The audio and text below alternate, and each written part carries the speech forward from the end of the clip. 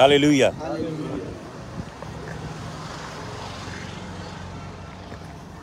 ਆਓ ਅਸੀਂ ਪ੍ਰਭੂ ਦੇ ਵਚਨ ਤੇ ਮਨਨ ਕਰਨ ਤੋਂ ਪਹਿਲਾਂ ਛੋਟੀ ਜੀ ਪ੍ਰਾਰਥਨਾ ਕਰੀਏ ਸਭ ਆਪਣੀ ਅੱਖਾਂ ਬੰਦ ਕਰੀਏ ਹਾਲੇਲੂਇਆ स्वर्गीय पिता तेरा धन्यवाद हो यीशु मसीह के लहू के लिए यीशु मसीह के पवित्र लहू के लिए तेरा धन्यवाद।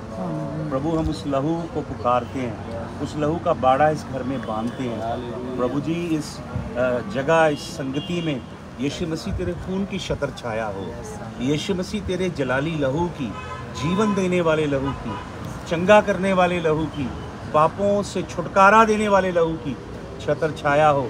प्रभु जी, उस लहू को प्रभु जी, मैं तेरा याजक होने के नाते तेरे तमाम इन याजकों के ऊपर छिड़कता हूँ। और प्रभु उसी लहू को मैं प्रभु जी इस भाई की बेटी जिसका आज बर्थडे है उसके जीवन पे छिड़कता हूँ। उस बच्ची को तेरे लहू में छिपाता हूँ।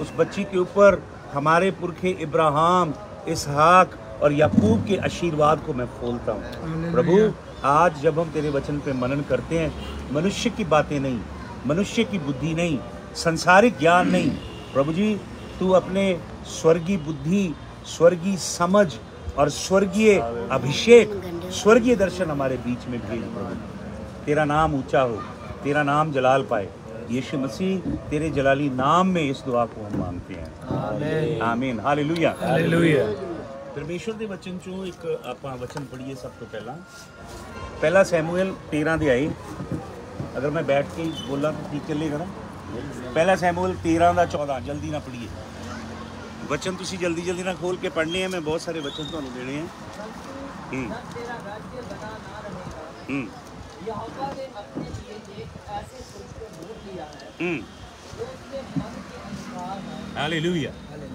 परमेश्वर किसी को सिंहासन से उतार देता है और किसी को सिंहासन पे बिठा देता है जो व्यक्ति परमेश्वर के राहों की खोज नहीं करता जो व्यक्ति परमेश्वर की मनसा और परमेश्वर की योजना को और परमेश्वर की इच्छा को पाँव के नीचे रौंदता है और परमेश्वर की इस प्रतिज्ञा ये वाचा इसके इसके ऊपर मनन नहीं करता परमेश्वर उस व्यक्ति को सिंहासन से उतारता है और जो व्यक्ति परमेश्वर की राह जोतता है परमेश्वर के मार्गों को ढूंढता है परमेश्वर उसे गद्दी पे बिठा देता है। हालेलुया। हालेलुया। दानियल नबी कहता है कि परमेश्वर सिंहासन पे बिठाता है और परमेश्वर सिंहासन से तो परमेश्वर ने शाउल को त्याग दिया।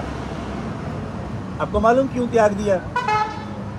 शाउल जो है, वो पहाड़ पे गया है, जहाँ पे परमेश्वर का नबी सैमुएल यहोवा के लिए कुर्बानी देता है। क्यों? क्योंकि जो हैकल थी शिलो में उसके अंदर से ऐद का संदूक फिलिस्ती लूट के ले गए। इसराइलियों के पास हैकल नहीं है।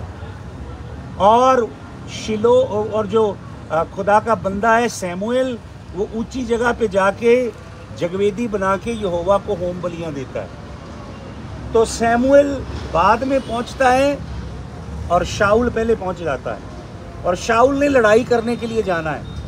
और लड़ाई से पहले शाउल राजा यहोवा को कुर्बानी देनी चाहता है ताकि लड़ाई के मैदान में जीत हो जाए। उसकी हो जाए। वो पहाड़ पे है और पहाड़ के नीचे इसराइली जो फौजी हैं वो बड़ी तलखी में आ रहे हैं। वो उसमें से कुछ फौजी अपने घर की ओर लौट रहे हैं। तो शाउल देखता है कि अगर ज़्यादा देर मैं प्रतीक्षा करूँगा तो मेरी फौज वापस लौट जाएगी।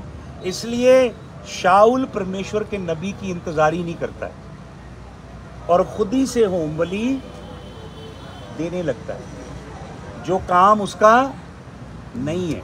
आपको मालूम जब हम वो काम करते हैं जिस काम के लिए यहोवा ने ना तो हमें अभिषेक किया ना हमें मुकर्र किया है तो हमारे जीवन पे दंड आता है।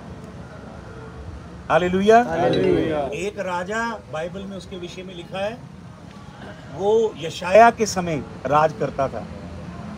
और वो राजा परमेश्वर की हैकल में जाके होली प्लेस में, पवित्र स्थान में खुद धूप चढ़ाना चाहता था यहोवा के आगे। तो क्या हुआ? उसके मत्थे पे कोड निकल आया और वो पूरी ज़िंदगी यहोवा ने मारा नहीं उसे, बल्कि पूरी ज़िंदगी वो राजा कोड़ी रहा। और जब तक वो राजा कोड़ी रहा, यहोवा ने इसराइल से बातचीत नहीं की।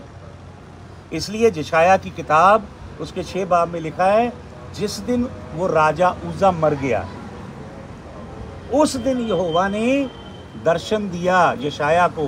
और यशाया ने देखा, यहोवा परमेश्वर यहोवा परमेश्वर का अनादि पुत्र यीशु मसीह एक विराट सिंहासन के ऊपर बैठा है और हैकल पूरे जलाल से भरी है और यहोवा के प्रताप से नींवें डोल रही हैं। और परमेश्वर का जो मेंटल है, गारमेंट है जो वस्त्र पहना है, उसके शोर से सारी हैकल भरी हुई है। जब तक कोड रहा, तब तक यहोवा ने कोई बातचीत नहीं की नहीं की। जब कोड खत्म हुआ, तब यहोवा ने बातचीत करनी शुरू की। तो सैमुएल ने अपनी बुद्धि से काम लिया और वो काम किया जो उसे करना नहीं चाहिए था। तब खुदा का नबी आ गया और खुदा के नबी ने क्या पैगाम दिया? कि तेरा राज तेरे से ले लिया। छीन लिया गया है और किसी और को नीचे इसराइली प्रजा खड़ी है और फौज खड़ी है। तो शाऊल आपको मालूम क्या कहता है सैमुअल से? सुनिएगा मेरी तरफ़ ध्यान दे के जरा सुनिए। आई कांटेक्ट रखे मेरे साथ। तो जब नबी ने बोला कि तेरा राज छीन लिया गया तो आपको मालूम शाऊल क्या कहता है सैमुअल से? शाह कहता है मैं नीचे जा रहा हूँ प्लीज़ मेरे को छोड़ के मत जा। मैं तेरे संग संग नीचे जाना चाहता हूँ। अगर तू मुझे छोड़ के चला गया तो नीचे इसराइली कौम को पता लग जाएगा कि यहोवा ने मुझे त्याग दिया है, और वो मुझे राजा नहीं मानेगी। शाऊल के लिए गद्दी कीमती थी। क्या कीमती था? शाउल को कीमती थी उसकी पदवी। शाउल को कीमती था उसका सिंगार। दाऊद में फ़र्क क्या है? शाऊल कहता है कि मेरा राज्य ना मुझसे चला जाए। लोगों को ना पता लग जाए कि यहोवा ने मुझे छोड़ दिया। मैं लोगों के सामने मेरी इमेज बनी रहे। लोगों के सामने मेरी प्रतिष्ठा बनी रहे। लोग जाने कि मैं सचमुच में राजा हूँ। लेकिन दाऊद क्या कहता है? जब नथान नबी, आपको मालूम, दाऊद ने 11 महीने अपना पाप छिपा के रखा। किसी को पता नहीं लगा। फिर यहोवा अपने नबी को भेजता है नाथ- नथान को। उसने नहीं देखा था दाऊद को पाप करते। किसने उसके ऊपर प्रकट किया? योवा के रूह ने। तो जब नथान जाके दाऊद के पाप को ऐसे, उसे बोलता है, तू है वो दुष्ट जिसने किसी की एक बकरी ले ली है। तो दाऊद क्या करता है? वचन पढ़े क्या दाऊद ने चार जबूर लिखे हैं अपने पश्चाताप के लिए। उनमें से एक है इक्यावन जबूर। दाऊद कहता है, हे यहोवा, अपना पाक रू मेरे तो नाल है। अपना पाक रू ਦਾਊਦ ਨਹੀਂ ਕਹਿੰਦਾ ਹੇ ਯੋਵਾ ਤੂੰ ਸਿੰਘਾਸਣ ਮੇਰੇ ਤੋਂ ਨਾ ਲਈ ਹੇ ਯੋਵਾ ਰਾਜਗੱਦੀ ਮੇਰੇ ਤੋਂ ਨਾ ਲਵੀਂ ਹੇ ਯੋਵਾ ਮੈਨੂੰ ਰਾਜਾ ਬਣਿਆ ਰਹਿਣ ਦੇ ਉਹ ਪਰਮੇਸ਼ਵਰ के आगे प्रार्थना करके कहता है हे यहोवा अपना पाक रू मुझसे ना ले और क्या कहता है कि मेरी हड्डियां जो पाप मैंने छिपा के रखा इतने महीने उसके कारण मेरी हड्डियां अंदर से खोखली हो गई हैं मेरी हड्डियों को नरोआ कर दे दाऊद के बारे में लिखा है जो वचन हम पढ़ रहे हैं पढ़ लीजिए जो पढ़ रहे थे आप जल्दी से। और यहोवा ने उसी को अपनी प्रजा और प्रधान होने को ठहराया है। क्योंकि तूने यहोवा की आज्ञा को नहीं माना। तब शमूएल चल निकला और गिलगाल से बिन्यामीन के बस बस इतना चाहिए परमेश्वर कहता है दाऊद को मैंने ढूंढा है। क्या किया है? ढूंढा एक बड़ा ज़बरदस्त इबरी भाषा का शब्द है काबाश जिसका मतलब होता है कोई चीज़ को तरद्दत से खोजना किसी चीज़ की पूरे दिल से तलाश करना। यहोवा तलाश करता है ऐसे मर्दों की और ऐसी औरतों की जो यहोवा से मुकम्मल दिल से प्यार करते हैं। हालेलुया। हालेलुया। जिन्हें दुनिया में अपनी वाहवाही नहीं चाहिए जिन्हें दुनियावी खजाने दौलतें नहीं चाहिए। ये यहोवा के मुश्ताक हैं। ये यहोवा के तालिब हैं। ये यहोवा को मुकम्मल दिल से खोजते हैं। ऐसे बंदों को यहोवा खोजता है। खुदावंद यीशु मसीह ने यही बात कही सामरी औरत से कि समय आ गया है आ रहा बल्कि आ गया है कि खुदा उन्हें ढूंढे उन्हें ढूंढ रहा है जो रूह और सच्चाई से भक्ति करते हैं। हालेलुया। हालेलुया। खुदा बाप ढूंढता है ऐसे लोगों को जिनका दिल खुदा की ओर मुकम्मल तौर पे लगा हुआ है, जो उसके तालिब हैं। तो दाऊद को परमेश्वर ने कहा, मेरे दिल के मुआफिक। इब्रानी भाषा में ये कलोकियलिज्म है, जिसे कहावत कहते हैं, मुहावरा। इस मुहावरे का असली अर्थ है कि दाऊद एक ऐसा बंदा है, जिसको यहोवा के दिल में पहुँचने का रास्ता पता है, खुफिया रास्ता पता है, कि यहोवा के दिल तक कैसे दस्तक देनी है, वो ये होगा कि दिल पे दस्तक देनी जानता है। एक ऐसा जवान जो 12-13 साल की उम्र से अपने बाप की भेड़ों को दूर दराज जंगलों में, पहाड़ों में लेके जाता है और गडरिए जो हैं दो दो तीन तीन महीने घर से दूर रहते हैं। चरागाहों की तलाश करते हैं और अपनी भेड़ों को चराते हैं। और उसी तन्हाइयों की रातों में राजा दाऊद जबूरों में क्या लिखता है? राजा दाऊद कहता है, यहोवा, रात दिया पैरों ਵਿੱਚ मैं तेरी खोज करांगा। पैर समझते हैं, तीन घंटे का एक पैर होता है। रात के चार पैर होते हैं। दाऊद कहता है, हर पैर के बाद उठ के मैं तेरी खोज करूँगा। फिर कहता है, राजा दाऊद, जो जबूरम गाते हैं, तड़के मैं तेनू ढूंढा। सुबह उठ के तड़के, जब खितिज पे सूर्य की रोशनी भी नहीं फूटती वो दस तार वाला साज लेके यहोवा की उस्तत करता है। आपको मालूम साठ फ़ीसदी जुइश विद्वान मानते हैं। दाऊद के जबूरों में से साठ फ़ीसदी जबूर राजा दाऊद ने उन दिनों में लिखे हैं। जब वो यहोवा की खोज करता था यहोवा का तालिब था और यहोवा के संग उस जवान लड़के का एक गहरा रिश्ता था तो खुदावंद कहता है कि मैंने एक बंदा चुन लिया है जो मेरे दिल के। आपको मालूम शिलो में जो हैकल थी, उसका याजक था एली। एली के दो बेटे थे। उर्दू की बाइबल में लिखा वो लुच्चे थे। उनके दो गुना थे। वो हैकल के अंदर जो काम करने आती थी, बहनें, औरतें, उनके संग जनाकारी करते थे। और यह हुआ कि हजूर जो लोग कुर्बानियाँ देने के लिए जानवर लाते थे, वो अपने नौकरों को कहते थे, पहले जाके ना बढ़िया जा पीस काट लिया मेरे लिए। ਇੱਥੇ ਪਿੱਛੇ ਦਾ ਆ ਜਿਹੜਾ ਸੀਨਾ ਕੱਢ ਲਿਆ यहोवा को अर्पण करने से पहले वो यहोवा को चढ़ाए जाने वाली पवित्र भेंटों को पलूट कर देते थे दूषित कर देते थे। तो यहोवा क्या करता है जब यहोवा की हैकल में पाप आता है जब यहोवा की हैकल में बदकारी आती है जब यहोवा की हैकल के अंदर करप्शन भ्रष्टाचार आता है वचन पढ़ के देख लो यहोवा खुद अपनी हैकल को तुड़वाता है खुद ये मत कहना शैतान तोड़ता है। यहोवा कहता है मैं चार कोड़े मारता हूँ। कितने? इजिकियल सात का इक्कीस वचन घर जाके पढ़ लेना। यहोवा चार कोड़ों से सजा देता है।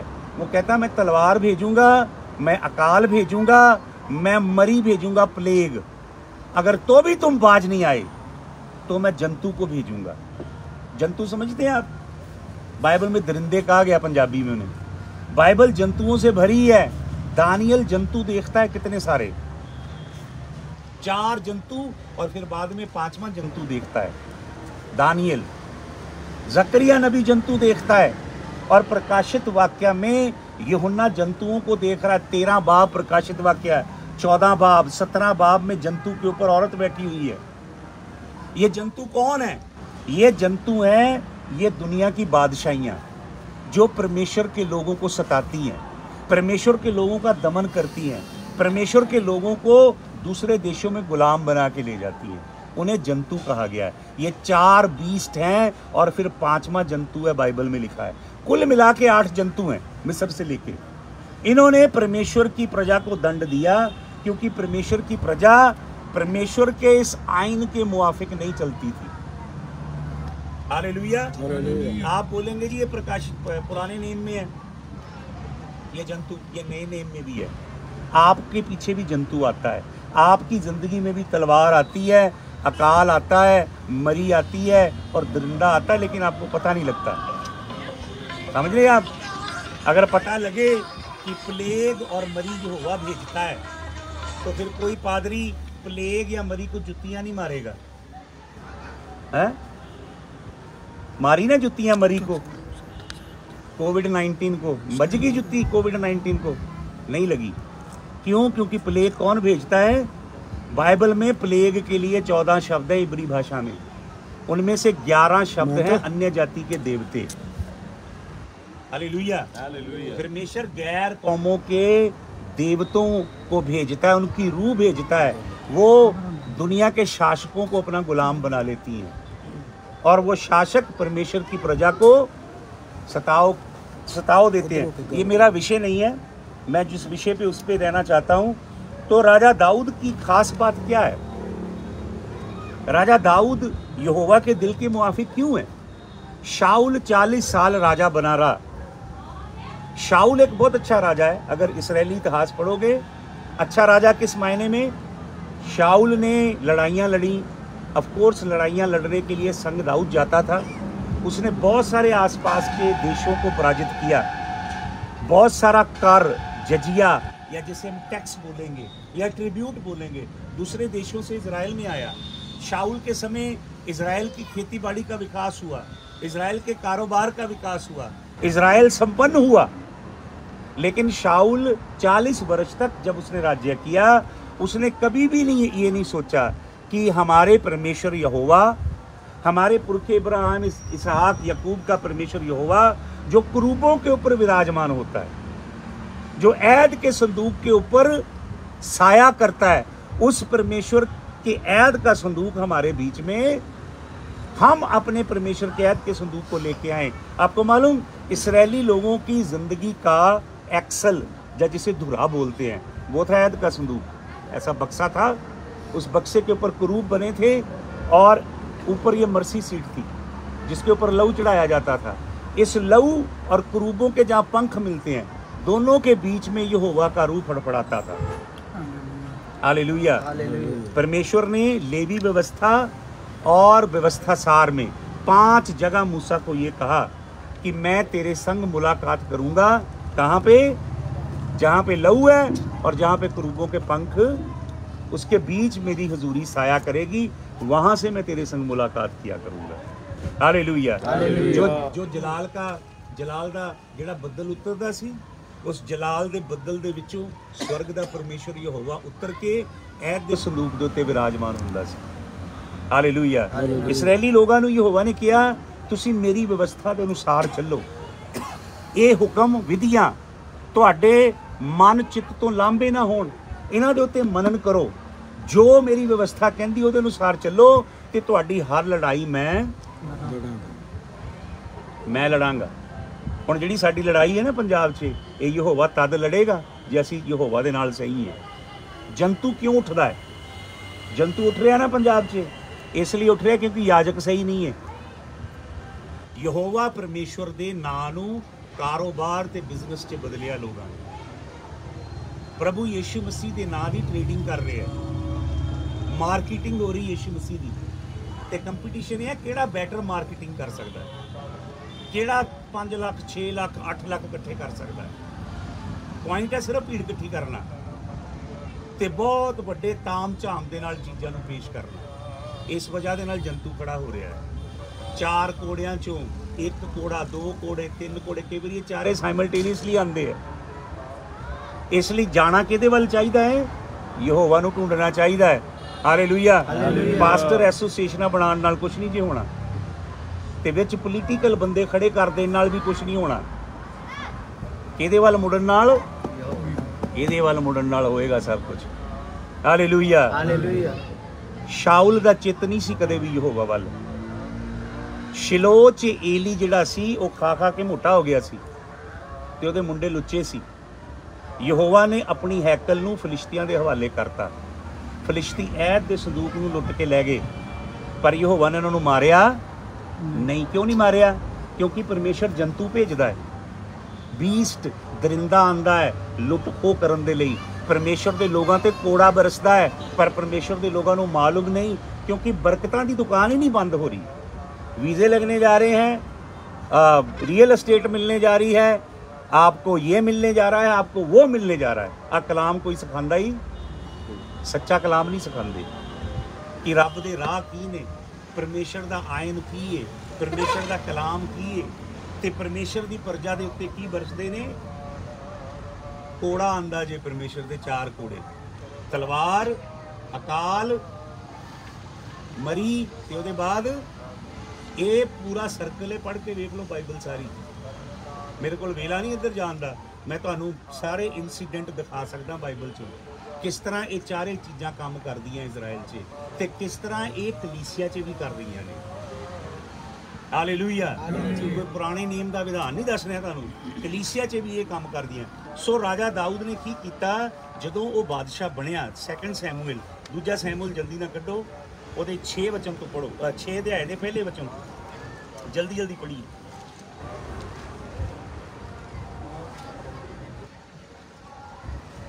ਦੂਸਰਾ ਸੈਮੂਅਲ ਉਹਦਾ 6 ਅਧਿਆਏ ਉਹਦੇ ਪਹਿਲੇ ਵਚਨ ਤੋਂ ਪੜ੍ਹੀਏ। ਫਿਰ ਦਾਊਦ ਨੇ ਇਜ਼ਰਾਈਲ ਦੇ ਸਾਰੇ ਚੁਣੇ ਹੋਏ ਹੂੰ। 30000 ਜਵਾਨਾਂ ਨੂੰ ਇਕੱਠਿਆ ਕੀਤਾ ਤਾਂ ਦਾਊਦ ਉੱਠਿਆ ਅਤੇ ਆਪਣੇ ਨਾਲ ਦੇ ਸਾਰੇ ਲੋਕਾਂ ਨੂੰ ਲੈ ਕੇ ਵਾਲੀ ਯੁੱਧਾਂ ਦੇ ਤੁਰਿਆ। ਇਸ ਕਰਕੇ ਜੋ ਪਰਮੇਸ਼ਵਰ ਦੇ ਸੰਦੂਕ ਨੂੰ ਜਿਹੜਾ ਉਸ ਨਾਮ ਤੋਂ ਅਰਥਾਤ ਸਨਾਉ ਦੇ ਯਹੋਵਾ ਦੇ ਨਾਮ ਤੋਂ ਸਿਆਉਂਦਾ ਹੈ ਜੋ ਕਰੂਬੀਆਂ ਦੇ ਉੱਤੇ ਵਿਰਾਜਮਾਨ ਹੈ। ਹੂੰ। ਉੱਥੋਂ ਉਡਾ ਕੇ ਲੈ ਆਵੇ ਹੂੰ। ਸੋ ਉਹਨਾਂ ਨੇ ਪਰਮੇਸ਼ਵਰ ਦੇ ਸੰਦੂਕ ਨੂੰ ਨਵੀਂ ਗੱਡੀ ਦੇ ਉੱਤੇ ਰੱਖਿਆ ਅਤੇ ਉਹ ਅਬਿਨਾਦਾਬ ਦੇ ਘਰ ਤੋਂ ਜੋ ਦੁਬਿਆਹ ਵਿੱਚ ਸੀ ਚੁੱਕ ਲਿਆਏ। ਹਾਲੇਲੂਇਆ। ਕਿਹਦੇ ਘਰੋਂ ਅਭਿਨਾਦਾਬ ਅਮੀਨਾ ਦਾਬ ਨਾਂ ਦਾ ਇੱਕ ਬੰਦਾ ਏ ਐਤ ਦਾ ਸੰਦੂਕ ਉਹਦੇ ਘਰ ਵਿੱਚ ਸੀ। ਕਿੰਨੇ ਚਿਰ ਸੀ? 20 ਸਾਲ। ਕਿੰਨੇ ਸਮੇਂ ਸੀ? ਪਹਿਲਾ ਸੈਮੂਅਲ 7 ਅਧਿਆਏ ਜਲਦੀ ਨਾਲ ਪੜ੍ਹ ਲਓ ਕੋਈ ਹੋਰ ਪੜ੍ਹ ਲੇ। ਪਹਿਲਾ ਸੈਮੂਅਲ 7 ਅਧਿਆਏ ਵਚਨ ਪੜ੍ਹਨਾ ਬਰਕਤ ਹੁੰਦੀ ਏ। ਵਚਨ ਪੜ੍ਹਨ ਨਾਲ ਕੋਈ ਛੋਟਾ ਥੋੜਾ ਹੋ ਜਾਂਦਾ ਪਹਿਲਾ ਸੈਮੂਅਲ 7 ਅਧਿਆਏ ਦੇ ਪਹਿਲੇ ਦੋ ਵਚਨ ਜਲਦੀ ਨਾਲ ਪੜੋ ਕਈ ਵਾਰੀ ਮੈਂ ਦੇਖਿਆ ਪਾਸਟਰ ਲੋਕ ਨਹੀਂ ਵਚਨ ਪੜ੍ਹਦੇ। ਅਜਿਹਾ ਹੋਇਆ ਸਟੇਟਸ ਤੋਂ ਥੱਲੇ ਵਾਲੀ ਗੱਲ ਸਮਝਦੇ ਆ। ਪੜੋ ਅਜਿਹਾ ਹੋਇਆ ਜਿਸ ਵੇਲੇ ਪਾਤਸ਼ਾਹ ਘਰ ਵਿੱਚ ਬੈਠਾ ਸੀ ਅਤੇ ਯਹੋਵਾ ਨੇ ਉਸ ਉਸ ਦੇ ਚਫੇਰੇ ਦੇ ਵੈਰੀਆਂ ਤੋਂ ਉਹਨੂੰ ਸੁੱਖ ਦਿੱਤਾ। ਤਦ ਪਾਤਸ਼ਾਹ ਨੇ ਨਥਾਨ ਨਬੀ ਨੂੰ ਆਖਿਆ ਵੇਖ ਜੋ ਮੈਂ ਦਿਆਰ ਦੀਆਂ ਲੱਕੜੀਆਂ ਦੇ ਮਹਿਲ ਵਿੱਚ ਰਹਿੰਦਾ ਹਾਂ। ਪਰ ਪਰਮੇਸ਼ਰ ਦਾ ਸੰਦੂਕ ਪਰਦਿਆਂ ਦੇ ਵਿਚਕਾਰ ਰਹਿੰਦਾ ਹੈ। ਅੱਗੇ ਪੜੋ ਤਦ ਨਥਾਨ ਨੇ ਪਾਤਸ਼ਾਹ ਨੂੰ ਆਖਿਆ ਜਾ ਜੋ ਕੁਝ ਤੇਰੇ ਮਨ ਵਿੱਚ ਹੈ ਸਭ ਕਰ ਕਿਉਂ ਜੋ ਯਹੋਵਾ ਤੇਰੇ ਨਾਲ ਹੈ। ਸਰ ਪਹਿਲਾ ਸੈਮੂਅਲ ਗਿਆ ਹੈ ਤੁਸੀਂ ਹੋਰ ਪੜ੍ਹਦੇ ਹੋ। ਪਹਿਲਾ ਹੋਰ ਕੁਝ ਪੜ੍ਹ ਪਹਿਲਾਂ ਕਿਹਾ ਸੀ ਸੈਕੰਡ ਪੜ੍ਹ ਰਹੇ ਹੋ। ਸੱਤ ਦੀ ਕਿੰਨੀਆਂ ਚ? ਸੱਤ ਦੀ ਪਹਿਲੀਆਂ ਨੂੰ ਵੇਖਾਂ ਤਦ ਕਿਰਿਯਮ ਯਾਰੀਮ ਦੇ ਲੋਕ ਆਏ ਅਤੇ ਯਹੋਵਾ ਦੇ ਸੰਦੂਕ ਨੂੰ ਲੈ ਜਾ ਕੇ ਅਬੀਨਾਦਾਬ ਦੇ ਘਰ ਵਿੱਚ ਧਰਿਆ। ਜਿਹਦੇ ਘਰ ਰੱਖ ਦਿੱਤਾ। ਅਬੀਨਾਦਾਬ। ਆਪ ਕੌਣ ਹੈ? ਲੇਵੀਆਂ ਦੇ ਕਬੀਲੇ ਦਾ ਹੈ। ਲਾਵੀ ਹੈ। ਯਾਜਕਾਂ ਦੇ ਗੋਤਰ ਦਾ ਹੈ। ਉਹਦੇ ਘਰ ਹੈ ਤੇ ਸੰਦੂਕ ਨੂੰ ਧਰਿਆ। ਕਿੱਥੋਂ ਧਰਿਆ? ਸਟੋਰੀ ਪੂਰੀ ਦੱਸਣ 'ਚ ਟਾਈਮ ਲੱਗੇਗਾ। ਯਹੋਵਾ ਦੇ ਐਦ ਦਾ ਸੰਦੂਕ ਜਿਹੜਾ ਸੀ, ਉਹ ਕਿੱਥੇ ਚਲਾ ਗਿਆ? ਫਲਿਸ਼ਤੀ ਲੈ ਗਏ ਉਹਨੂੰ। ਉਹਨਾਂ ਨੇ ਆਪਣੇ ਦਿਉਤੇ ਦੇ ਮੰਦਰ 'ਚ ਰੱਖਤਾ। ਉਹਨਾਂ ਦਿਉਤੇ ਦਾ ਜਿਹੜਾ ਮੰਦਰ ਸੀ, ਉਹਦੀ ਛੱਤ 4-5 ਮੰਜ਼ਲ ਉੱਚੀ ਸੀ। ਐਡਾ ਵੱਡਾ ਦਿਉਤੇ ਦਾ ਮੰਦਰ ਸੀ। ਤੇ ਯਹੋਵਾ ਦੇ ਜਲਾਲ ਨੇ ਜਿਹੜਾ ਕਰੂਬਾਂ ਦੇ ਵਿੱਚ ਵਾਸ ਕਰਦਾ ਸੀ, ਰਾਤ ਦੇ ਵੇਲੇ ਉਹਨਾਂ ਦੇ ਦਿਉਤੇ ਦੇ ਟੋਟੇ ਟੋਟੇ। ਤੇ ਯਹੋਵਾ ਨੇ ਕੀ ਕੀਤਾ? ਯਹੋਵਾ ਨੇ ਫਲਿਸ਼ਤੀਆਂ ਦੇ ਖੱਤਿਆਂ 'ਚ ਚੂਹੇ ਭੇਜੇ। ਉਹਨਾਂ ਦੀ ਫਸਲ ਖਾ ਗਏ। ਫਿਰ ਯਹੋਵਾ ਨੇ ਫਲਿਸ਼ਤੀਆਂ ਦੇ ਫੋੜੇ ਕੱਢ ਦਿੱਤੇ, ਵੱਡੇ ਵੱਡੇ ਟਿਊਮਰ। ਉਹ ਡਰ ਗਏ। ਉਹਨਾਂ ਨੇ ਪਰਮੇਸ਼ਰ ਦੇ ਐਤ ਦੇ ਸੰਦੂਕ ਨੂੰ ਵਾਪਸ ਭੇਜਣਾ ਚਾਹਿਆ। ਤੇ ਜੋ ਉਹਨਾਂ ਦੀ ਸਮਝ 'ਚ ਆਇਆ, ਉਹਨਾਂ ਨੇ ਯਹੋ- ਉਹਨਾਂ ਦੇ ਪੰਜ ਸਰਦਾਰ ਸਨ ਫਲਿਸ਼ਤੀਆਂ ਦੇ। ਇੱਕ ਇੱਕ ਸਰਦਾਰ ਦੇ ਹਿਸਾਬ ਨਾਲ ਉਹਨਾਂ ਨੇ ਪੰਜ ਸੋਨੇ ਦੇ ਚੂਹੇ ਬਣਾਏ ਤੇ ਪੰਜ ਵੱਡੇ ਵੱਡੇ ਫੋੜੇ। ਤੇ ਉਹ ਐਦ ਦੇ ਸੰਦੂਕ ਦੇ ਇੱਕ ਪਾਸੇ ਰੱਖ ਦਿੱਤੇ ਤੇ ਐਦ ਦੇ ਸੰਦੂਕ ਨੂੰ ਕੀ ਕਰ ਦਿੱਤਾ? ਤੋੜ ਦਿੱਤਾ ਤਾਂ ਕਿ ਕੀ ਹੋਵੇ, ਉਹਨਾਂ ਦੇ ਨਗਰ ਵਿੱਚ ਸ਼ਾਂਤੀ ਆ ਜਾਵੇ। ਤੇ ਜਦੋਂ ਉਹਨਾਂ ਨੇ ਇਸ ਤਰ੍ਹਾਂ ਕੀਤਾ, ਉਹ ਸ਼ਰਾਪ ਜਿਹੜਾ ਯਹੋਵਾ ਦਾ, ਪਲੇਗ ਜਿਹੜੀ ਪਈ, ਮਰੀ, ਉਹ ਮਰੀ ਉਹਨਾਂ ਕੋਲੋਂ ਟਲ ਗਈ। ਤੁਹਾਨੂੰ ਪਤਾ ਹੈ, ਯਹੋਵਾ ਦੇ ਐਤ ਦਾ ਸੰਦੂਕ ਕਿੰਨਾ ਪਵਿੱਤਰ ਹੈ। ਕਿਉਂਕਿ ਅਤ ਪਵਿੱਤਰ ਸੈਨਾਵਾਂ ਦਾ ਯਹੋਵਾ, ਉਹਨਾਂ ਉਹ ਕਰੂਬਾਂ ਦੇ ਦਰਮਿਆਨ ਖੂਨ ਦੇ ਉੱਤੇ ਸਾਇਆ ਕਰਦਾ ਹੈ।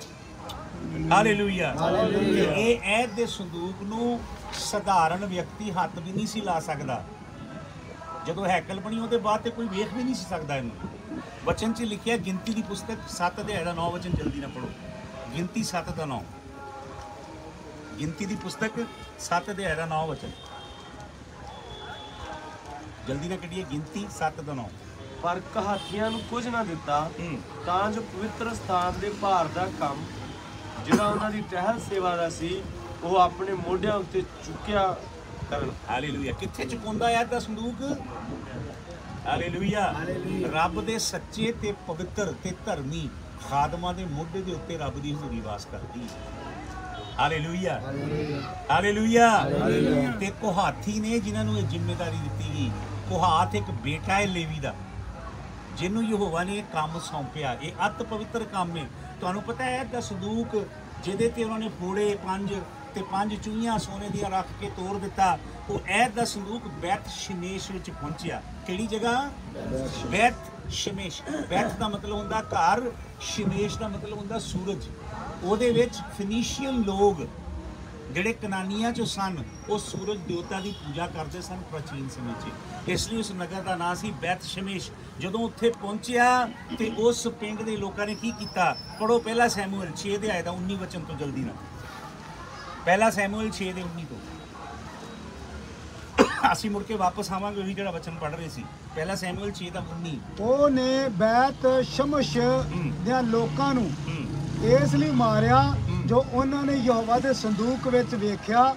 ਸੋ ਉਸ ਨੇ 50000 ਤੇ 70 ਮਨੁੱਖ ਉਹਨਾਂ ਵਿੱਚੋਂ ਮਾਰ ਸੁੱਟੇ। ਹਾਲੇਲੂਇਆ। ਬੈਤ ਸ਼ਮੇਸ਼ 'ਚ ਜਦੋਂ ਯਹੋਵਾ ਦੇ ਐਦ ਦਾ ਸੰਦੂਕ ਆ ਗਿਆ ਤੇ ਪਿੰਡ ਦੇ ਲੋਕਾਂ ਨੇ ਇਕੱਠੇ ਹੋ ਕੇ 50000 ਤੇ 70 ਬੰਦਾ ਮਰ ਗਿਆ।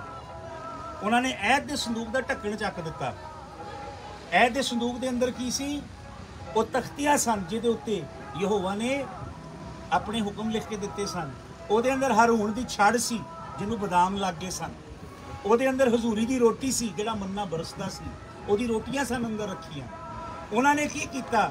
ਉਹਨਾਂ ਨੇ ਉਹ ਤਖਤਾ, ਜਿਹੜਾ ਜਿਹਨੂੰ ਕਫਾਰ ਕਿਹਾ ਗਿਆ ਇੰਗਲਿਸ਼ ਭਾਸ਼ਾ 'ਚ, ਕਫਾਰ।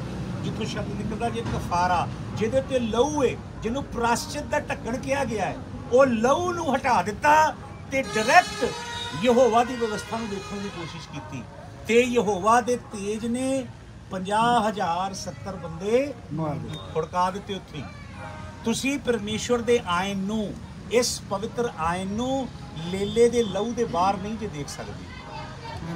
ਹਾਲੇਲੂਇਆ ਕੇਵਲ ਲੇਲੇ ਦਾ ਲਹੂ ਸਾਨੂੰ ਇਸ ਕਾਬਿਲ ਬਣਾਉਂਦਾ ਹੈ। ਸਾਡੇ 'ਚ ਕੋਈ ਵੀ ਕੋਈ ਲਿਆਕਤ ਨਹੀਂ ਜੇ ਰੱਖਦਾ ਕੋਈ ਖੂਬੀ ਨਹੀਂ ਜੇ ਰੱਖਦਾ। ਸਾਡੇ 'ਚ ਕੋਈ ਵੀ ਕੋਈ ਕਾਬਲੀਅਤ ਨਹੀਂ ਰੱਖਦਾ ਹੈ ਲੇਲੇ ਦੇ ਲਹੂ ਦੇ ਬਗੈਰ। ਹਾਲੇਲੂਇਆ ਹਾਲੇਲੂਇਆ ਲੇਲੇ ਦੇ ਲਹੂ ਨੂੰ ਹਟਾਓਗੇ ਤੇ ਪਰਮੇਸ਼ਵਰ ਦਾ ਤੇਜ ਮਾਰ ਦੇਗਾ। ਲੇਲੇ ਦੇ ਲਹੂ ਦੇ ਬਗੈਰ ਪਰਮੇਸ਼ਵਰ ਨੂੰ ਤੱਕਣ ਦੀ ਜ਼ਰੂਰਤ ਸਿਰਫ ਯੀਸ਼ੂ ਮਸੀਹ ਕਰ ਸਕਦਾ। ਹੈ ਯੀਸ਼ੂ ਮਸੀਹ ਕਹਿੰਦਾ ਪਰਮੇਸ਼ਵਰ ਨੂੰ ਕਦੇ ਕਿਸੇ ਨੇ ਨਹੀਂ ਦੇਖਿਆ। ਯਹੋਵਾ ਨੂੰ ਸਿਰਫ ਯਿਸੂ ਨੇ ਦੇਖਿਆ। ਕਿਉਂਕਿ ਯਿਸੂ ਤੇ ਯਹੋਵਾ ਇੱਕ ਨੇ। ਆਦ ਵਿੱਚ ਸ਼ਬਦ ਸੀ ਤੇ ਸ਼ਬਦ ਪਰਮੇਸ਼ਵਰ ਦੇ ਤੇ ਸ਼ਬਦ ਪਰਮੇਸ਼ਵਰ ਸੀ। ਹਾਲੇਲੂਇਆ। ਕੇਵਲ નિર્ਦੋਸ਼ ਬੇਅਬ ਲੀਲਾ ਪਿਤਾ ਦੇ ਨਾਲ ਸਹਿਭਾਗਿਤਾ ਕਰ ਸਕਦਾ ਹੈ।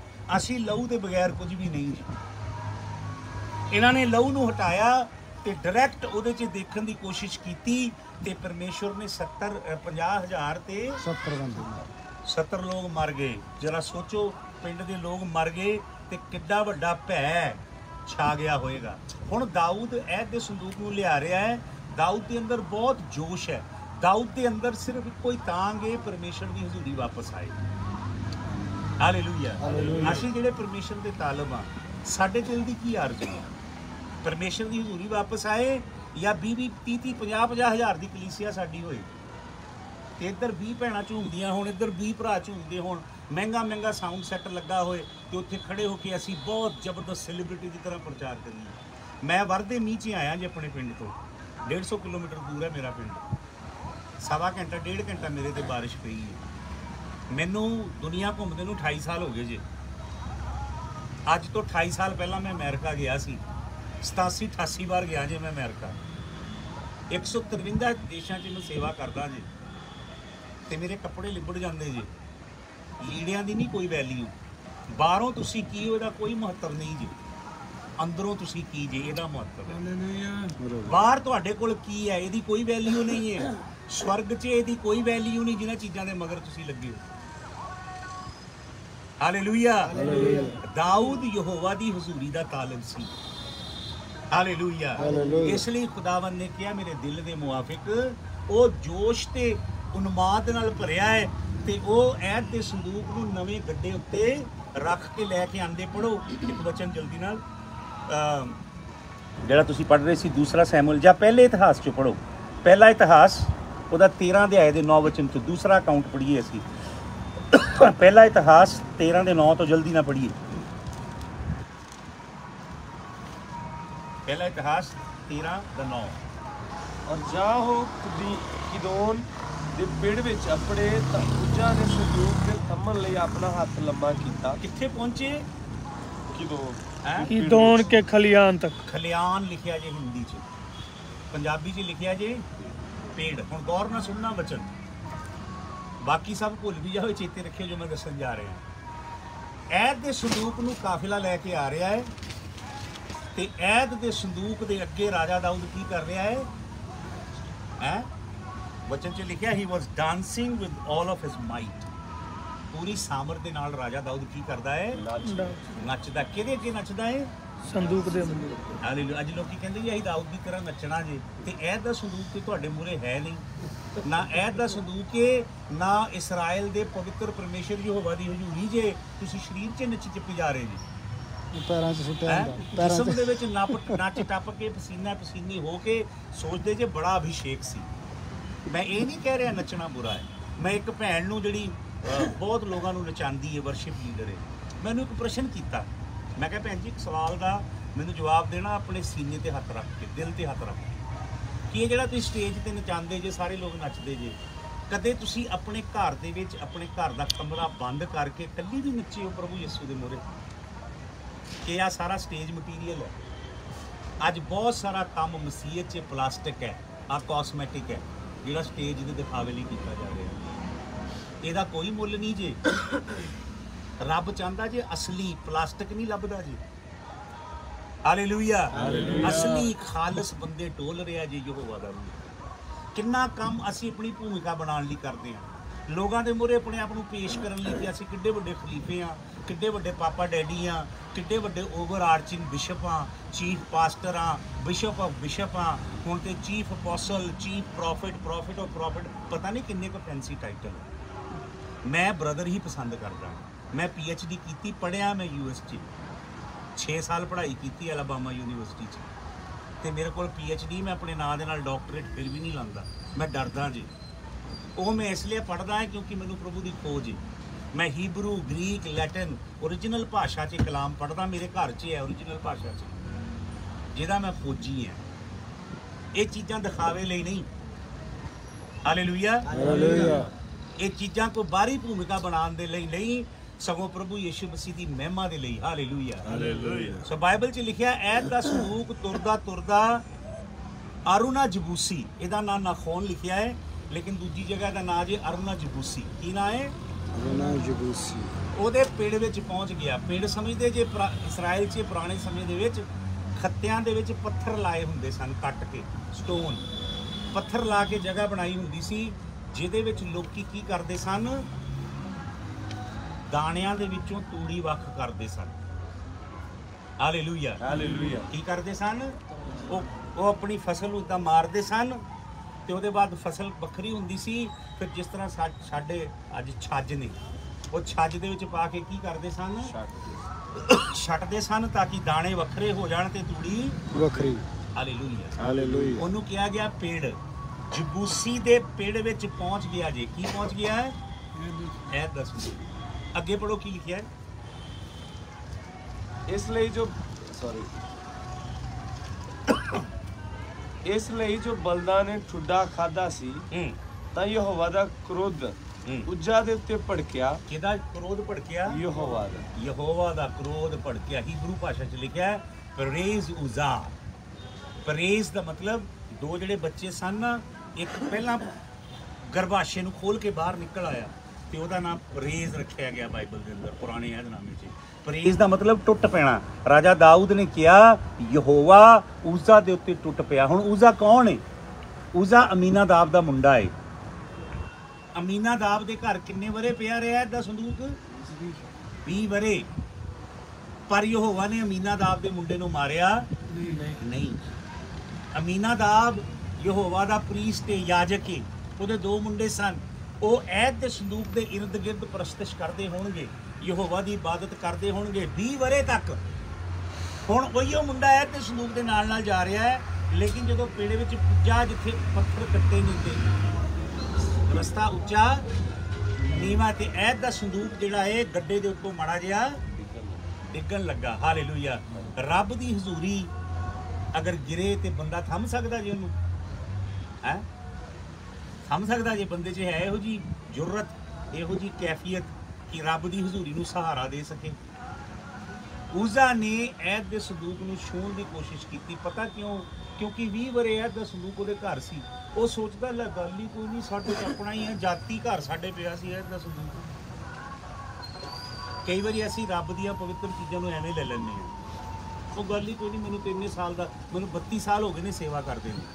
ਮੈਂ ਜਦੋਂ ਵੀ ਸੇਵਾ ਕਰਦਾ, ਮੈਂ ਆਪਣੇ ਦਿਲ ਦੇ ਵਿੱਚ ਇਹ ਕਹਿਣਾ ਹੈ ਵੀ ਮੈਨੂੰ ਆਪਣੇ 32 ਸਾਲ ਦੀ ਸੇਵਾ ਦਾ ਕੋਈ ਗਰੂਰ ਨਹੀਂ। ਉਹਦੇ ਕਮਾਂਡ ਦੀ ਬੁਨਿਆਦ ਤੇ ਨਹੀਂ ਮੈਂ ਖੜਾ। ਮੈਂ ਕਈ ਵਾਰ ਪ੍ਰਭੂ ਨੂੰ ਕਹਿਣਾ ਪ੍ਰਭੂ ਇਹ ਕੰਮ ਮੈਂ ਪਹਿਲੀ ਵਾਰੀ ਕਰ ਰਿਹਾ। ਤੁਸੀਂ ਮੈਨੂੰ ਸਿਖਾਓ। ਹਾਲੇਲੂਇਆ ਕਈ ਵਾਰ ਅਸੀਂ ਆਪਣੇ ਤਜਰਬੇ ਦਾ ਬੜਾ ਕਮਾਂਡ ਕਰਦੇ। ਹੂੰ? ਕਈ ਵਾਰ ਲੋਕ ਆਪਣੇ ਤਜਰਬੇ ਦੀ ਪੂਜਾ ਕਰ ਰਹੇ ਆ। ਉਹ ਜਿਹੜਾ ਸੱਪ ਟੰਗਿਆ ਸੀ ਨਾ ਮੂਸਾ ਨੇ ਉਹ ਸੱਪ ਨੂੰ ਇਸرائیਲੀਆਂ ਨੇ ਲਾ ਲਿਆ ਸੀ ਥੱਲੇ। ਤੇ ਉਹਨੂੰ ਲਪੇਟਿਆ ਸੁਨੀਲ ਦੇ ਕੱਪੜੇ 'ਚ, ਉਹਦੇ ਲਈ ਡੱਬਾ ਬਣਾਇਆ। ਉਹਨੂੰ ਇਜ਼ਰਾਈਲ ਲੈ ਆਏ ਸੀ, ਉਹਦੀ ਪੂਜਾ ਕਰਦੇ ਸੀ। ਜਵਾਸ਼ ਰਾਜਾ ਨੇ ਉਹਨੂੰ ਤੋੜਿਆ ਤੇ ਚੂਰ-ਚੂਰ ਕੀਤਾ। ਉਹ ਇੱਕ ਵਾਰੀ ਸੱਪ ਚੱਕਿਆ ਸੀ, ਇੱਕ ਵਨ ਟਾਈਮ ਰੱਬ ਨੇ ਉਹਨਾਂ ਨੂੰ ਤਜਰਬਾ ਦਿੱਤਾ ਸੀ। ਪਰ ਉਹ ਸੋਚਦੇ ਸੀ ਕਿ ਸੱਪ ਦੇ ਅੰਦਰ ਜ਼ਰੂਰ ਕੋਈ ਗੱਲਬਾਤ ਹੈ ਜਦ ਕਿ ਉਹਨਾਂ ਨੂੰ ਪਤਾ ਸੀ, ਸੱਪ ਨਖਾਸ਼ ਜਿਹੜਾ ਏ, ਉਹ ਬੁਰਾਈ ਦਾ ਪ੍ਰਤੀਕ ਹੈ ਨਹੁਸ਼ਥਾਨ ਉਹਨਾਂ ਦਾ ਦੇਵਤਾ ਬਣ ਗਿਆ ਸੀ। ਫਿਰ ਉਸ ਰਾਜਾ ਨੇ ਉਹਨੂੰ ਚੂਰ-ਚੂਰ ਕੀਤਾ ਤੇ ਇਜ਼ਰਾਈਲ ਚੋਂ ਬੁਰਾਈ ਦੂਰ ਕੀਤੀ ਉਹ ਤਜਰਬੇ ਦੀ ਪੂਜਾ ਕਰ ਰਹੇ ਸੀ ਆਪਣੇ। ਕਦੇ ਕਮਾਂਡ ਨਾ ਕਰਿਓ ਕਿ ਤੁਹਾਨੂੰ ਬਹੁਤ ਤਜਰਬਾ ਜੀ। ਜਾਂ ਬਹੁਤ ਤੁਸੀਂ ਦੁਨੀਆ ਘੁੰਮ ਲਈ ਜਾਂ ਬਹੁਤ ਤੁਹਾਨੂੰ ਗਿਆਨ ਜੀ ਇਹ ਰੱਬ ਦੇ ਮੂਹਰੇ ਕੂੜਾ ਜੀ।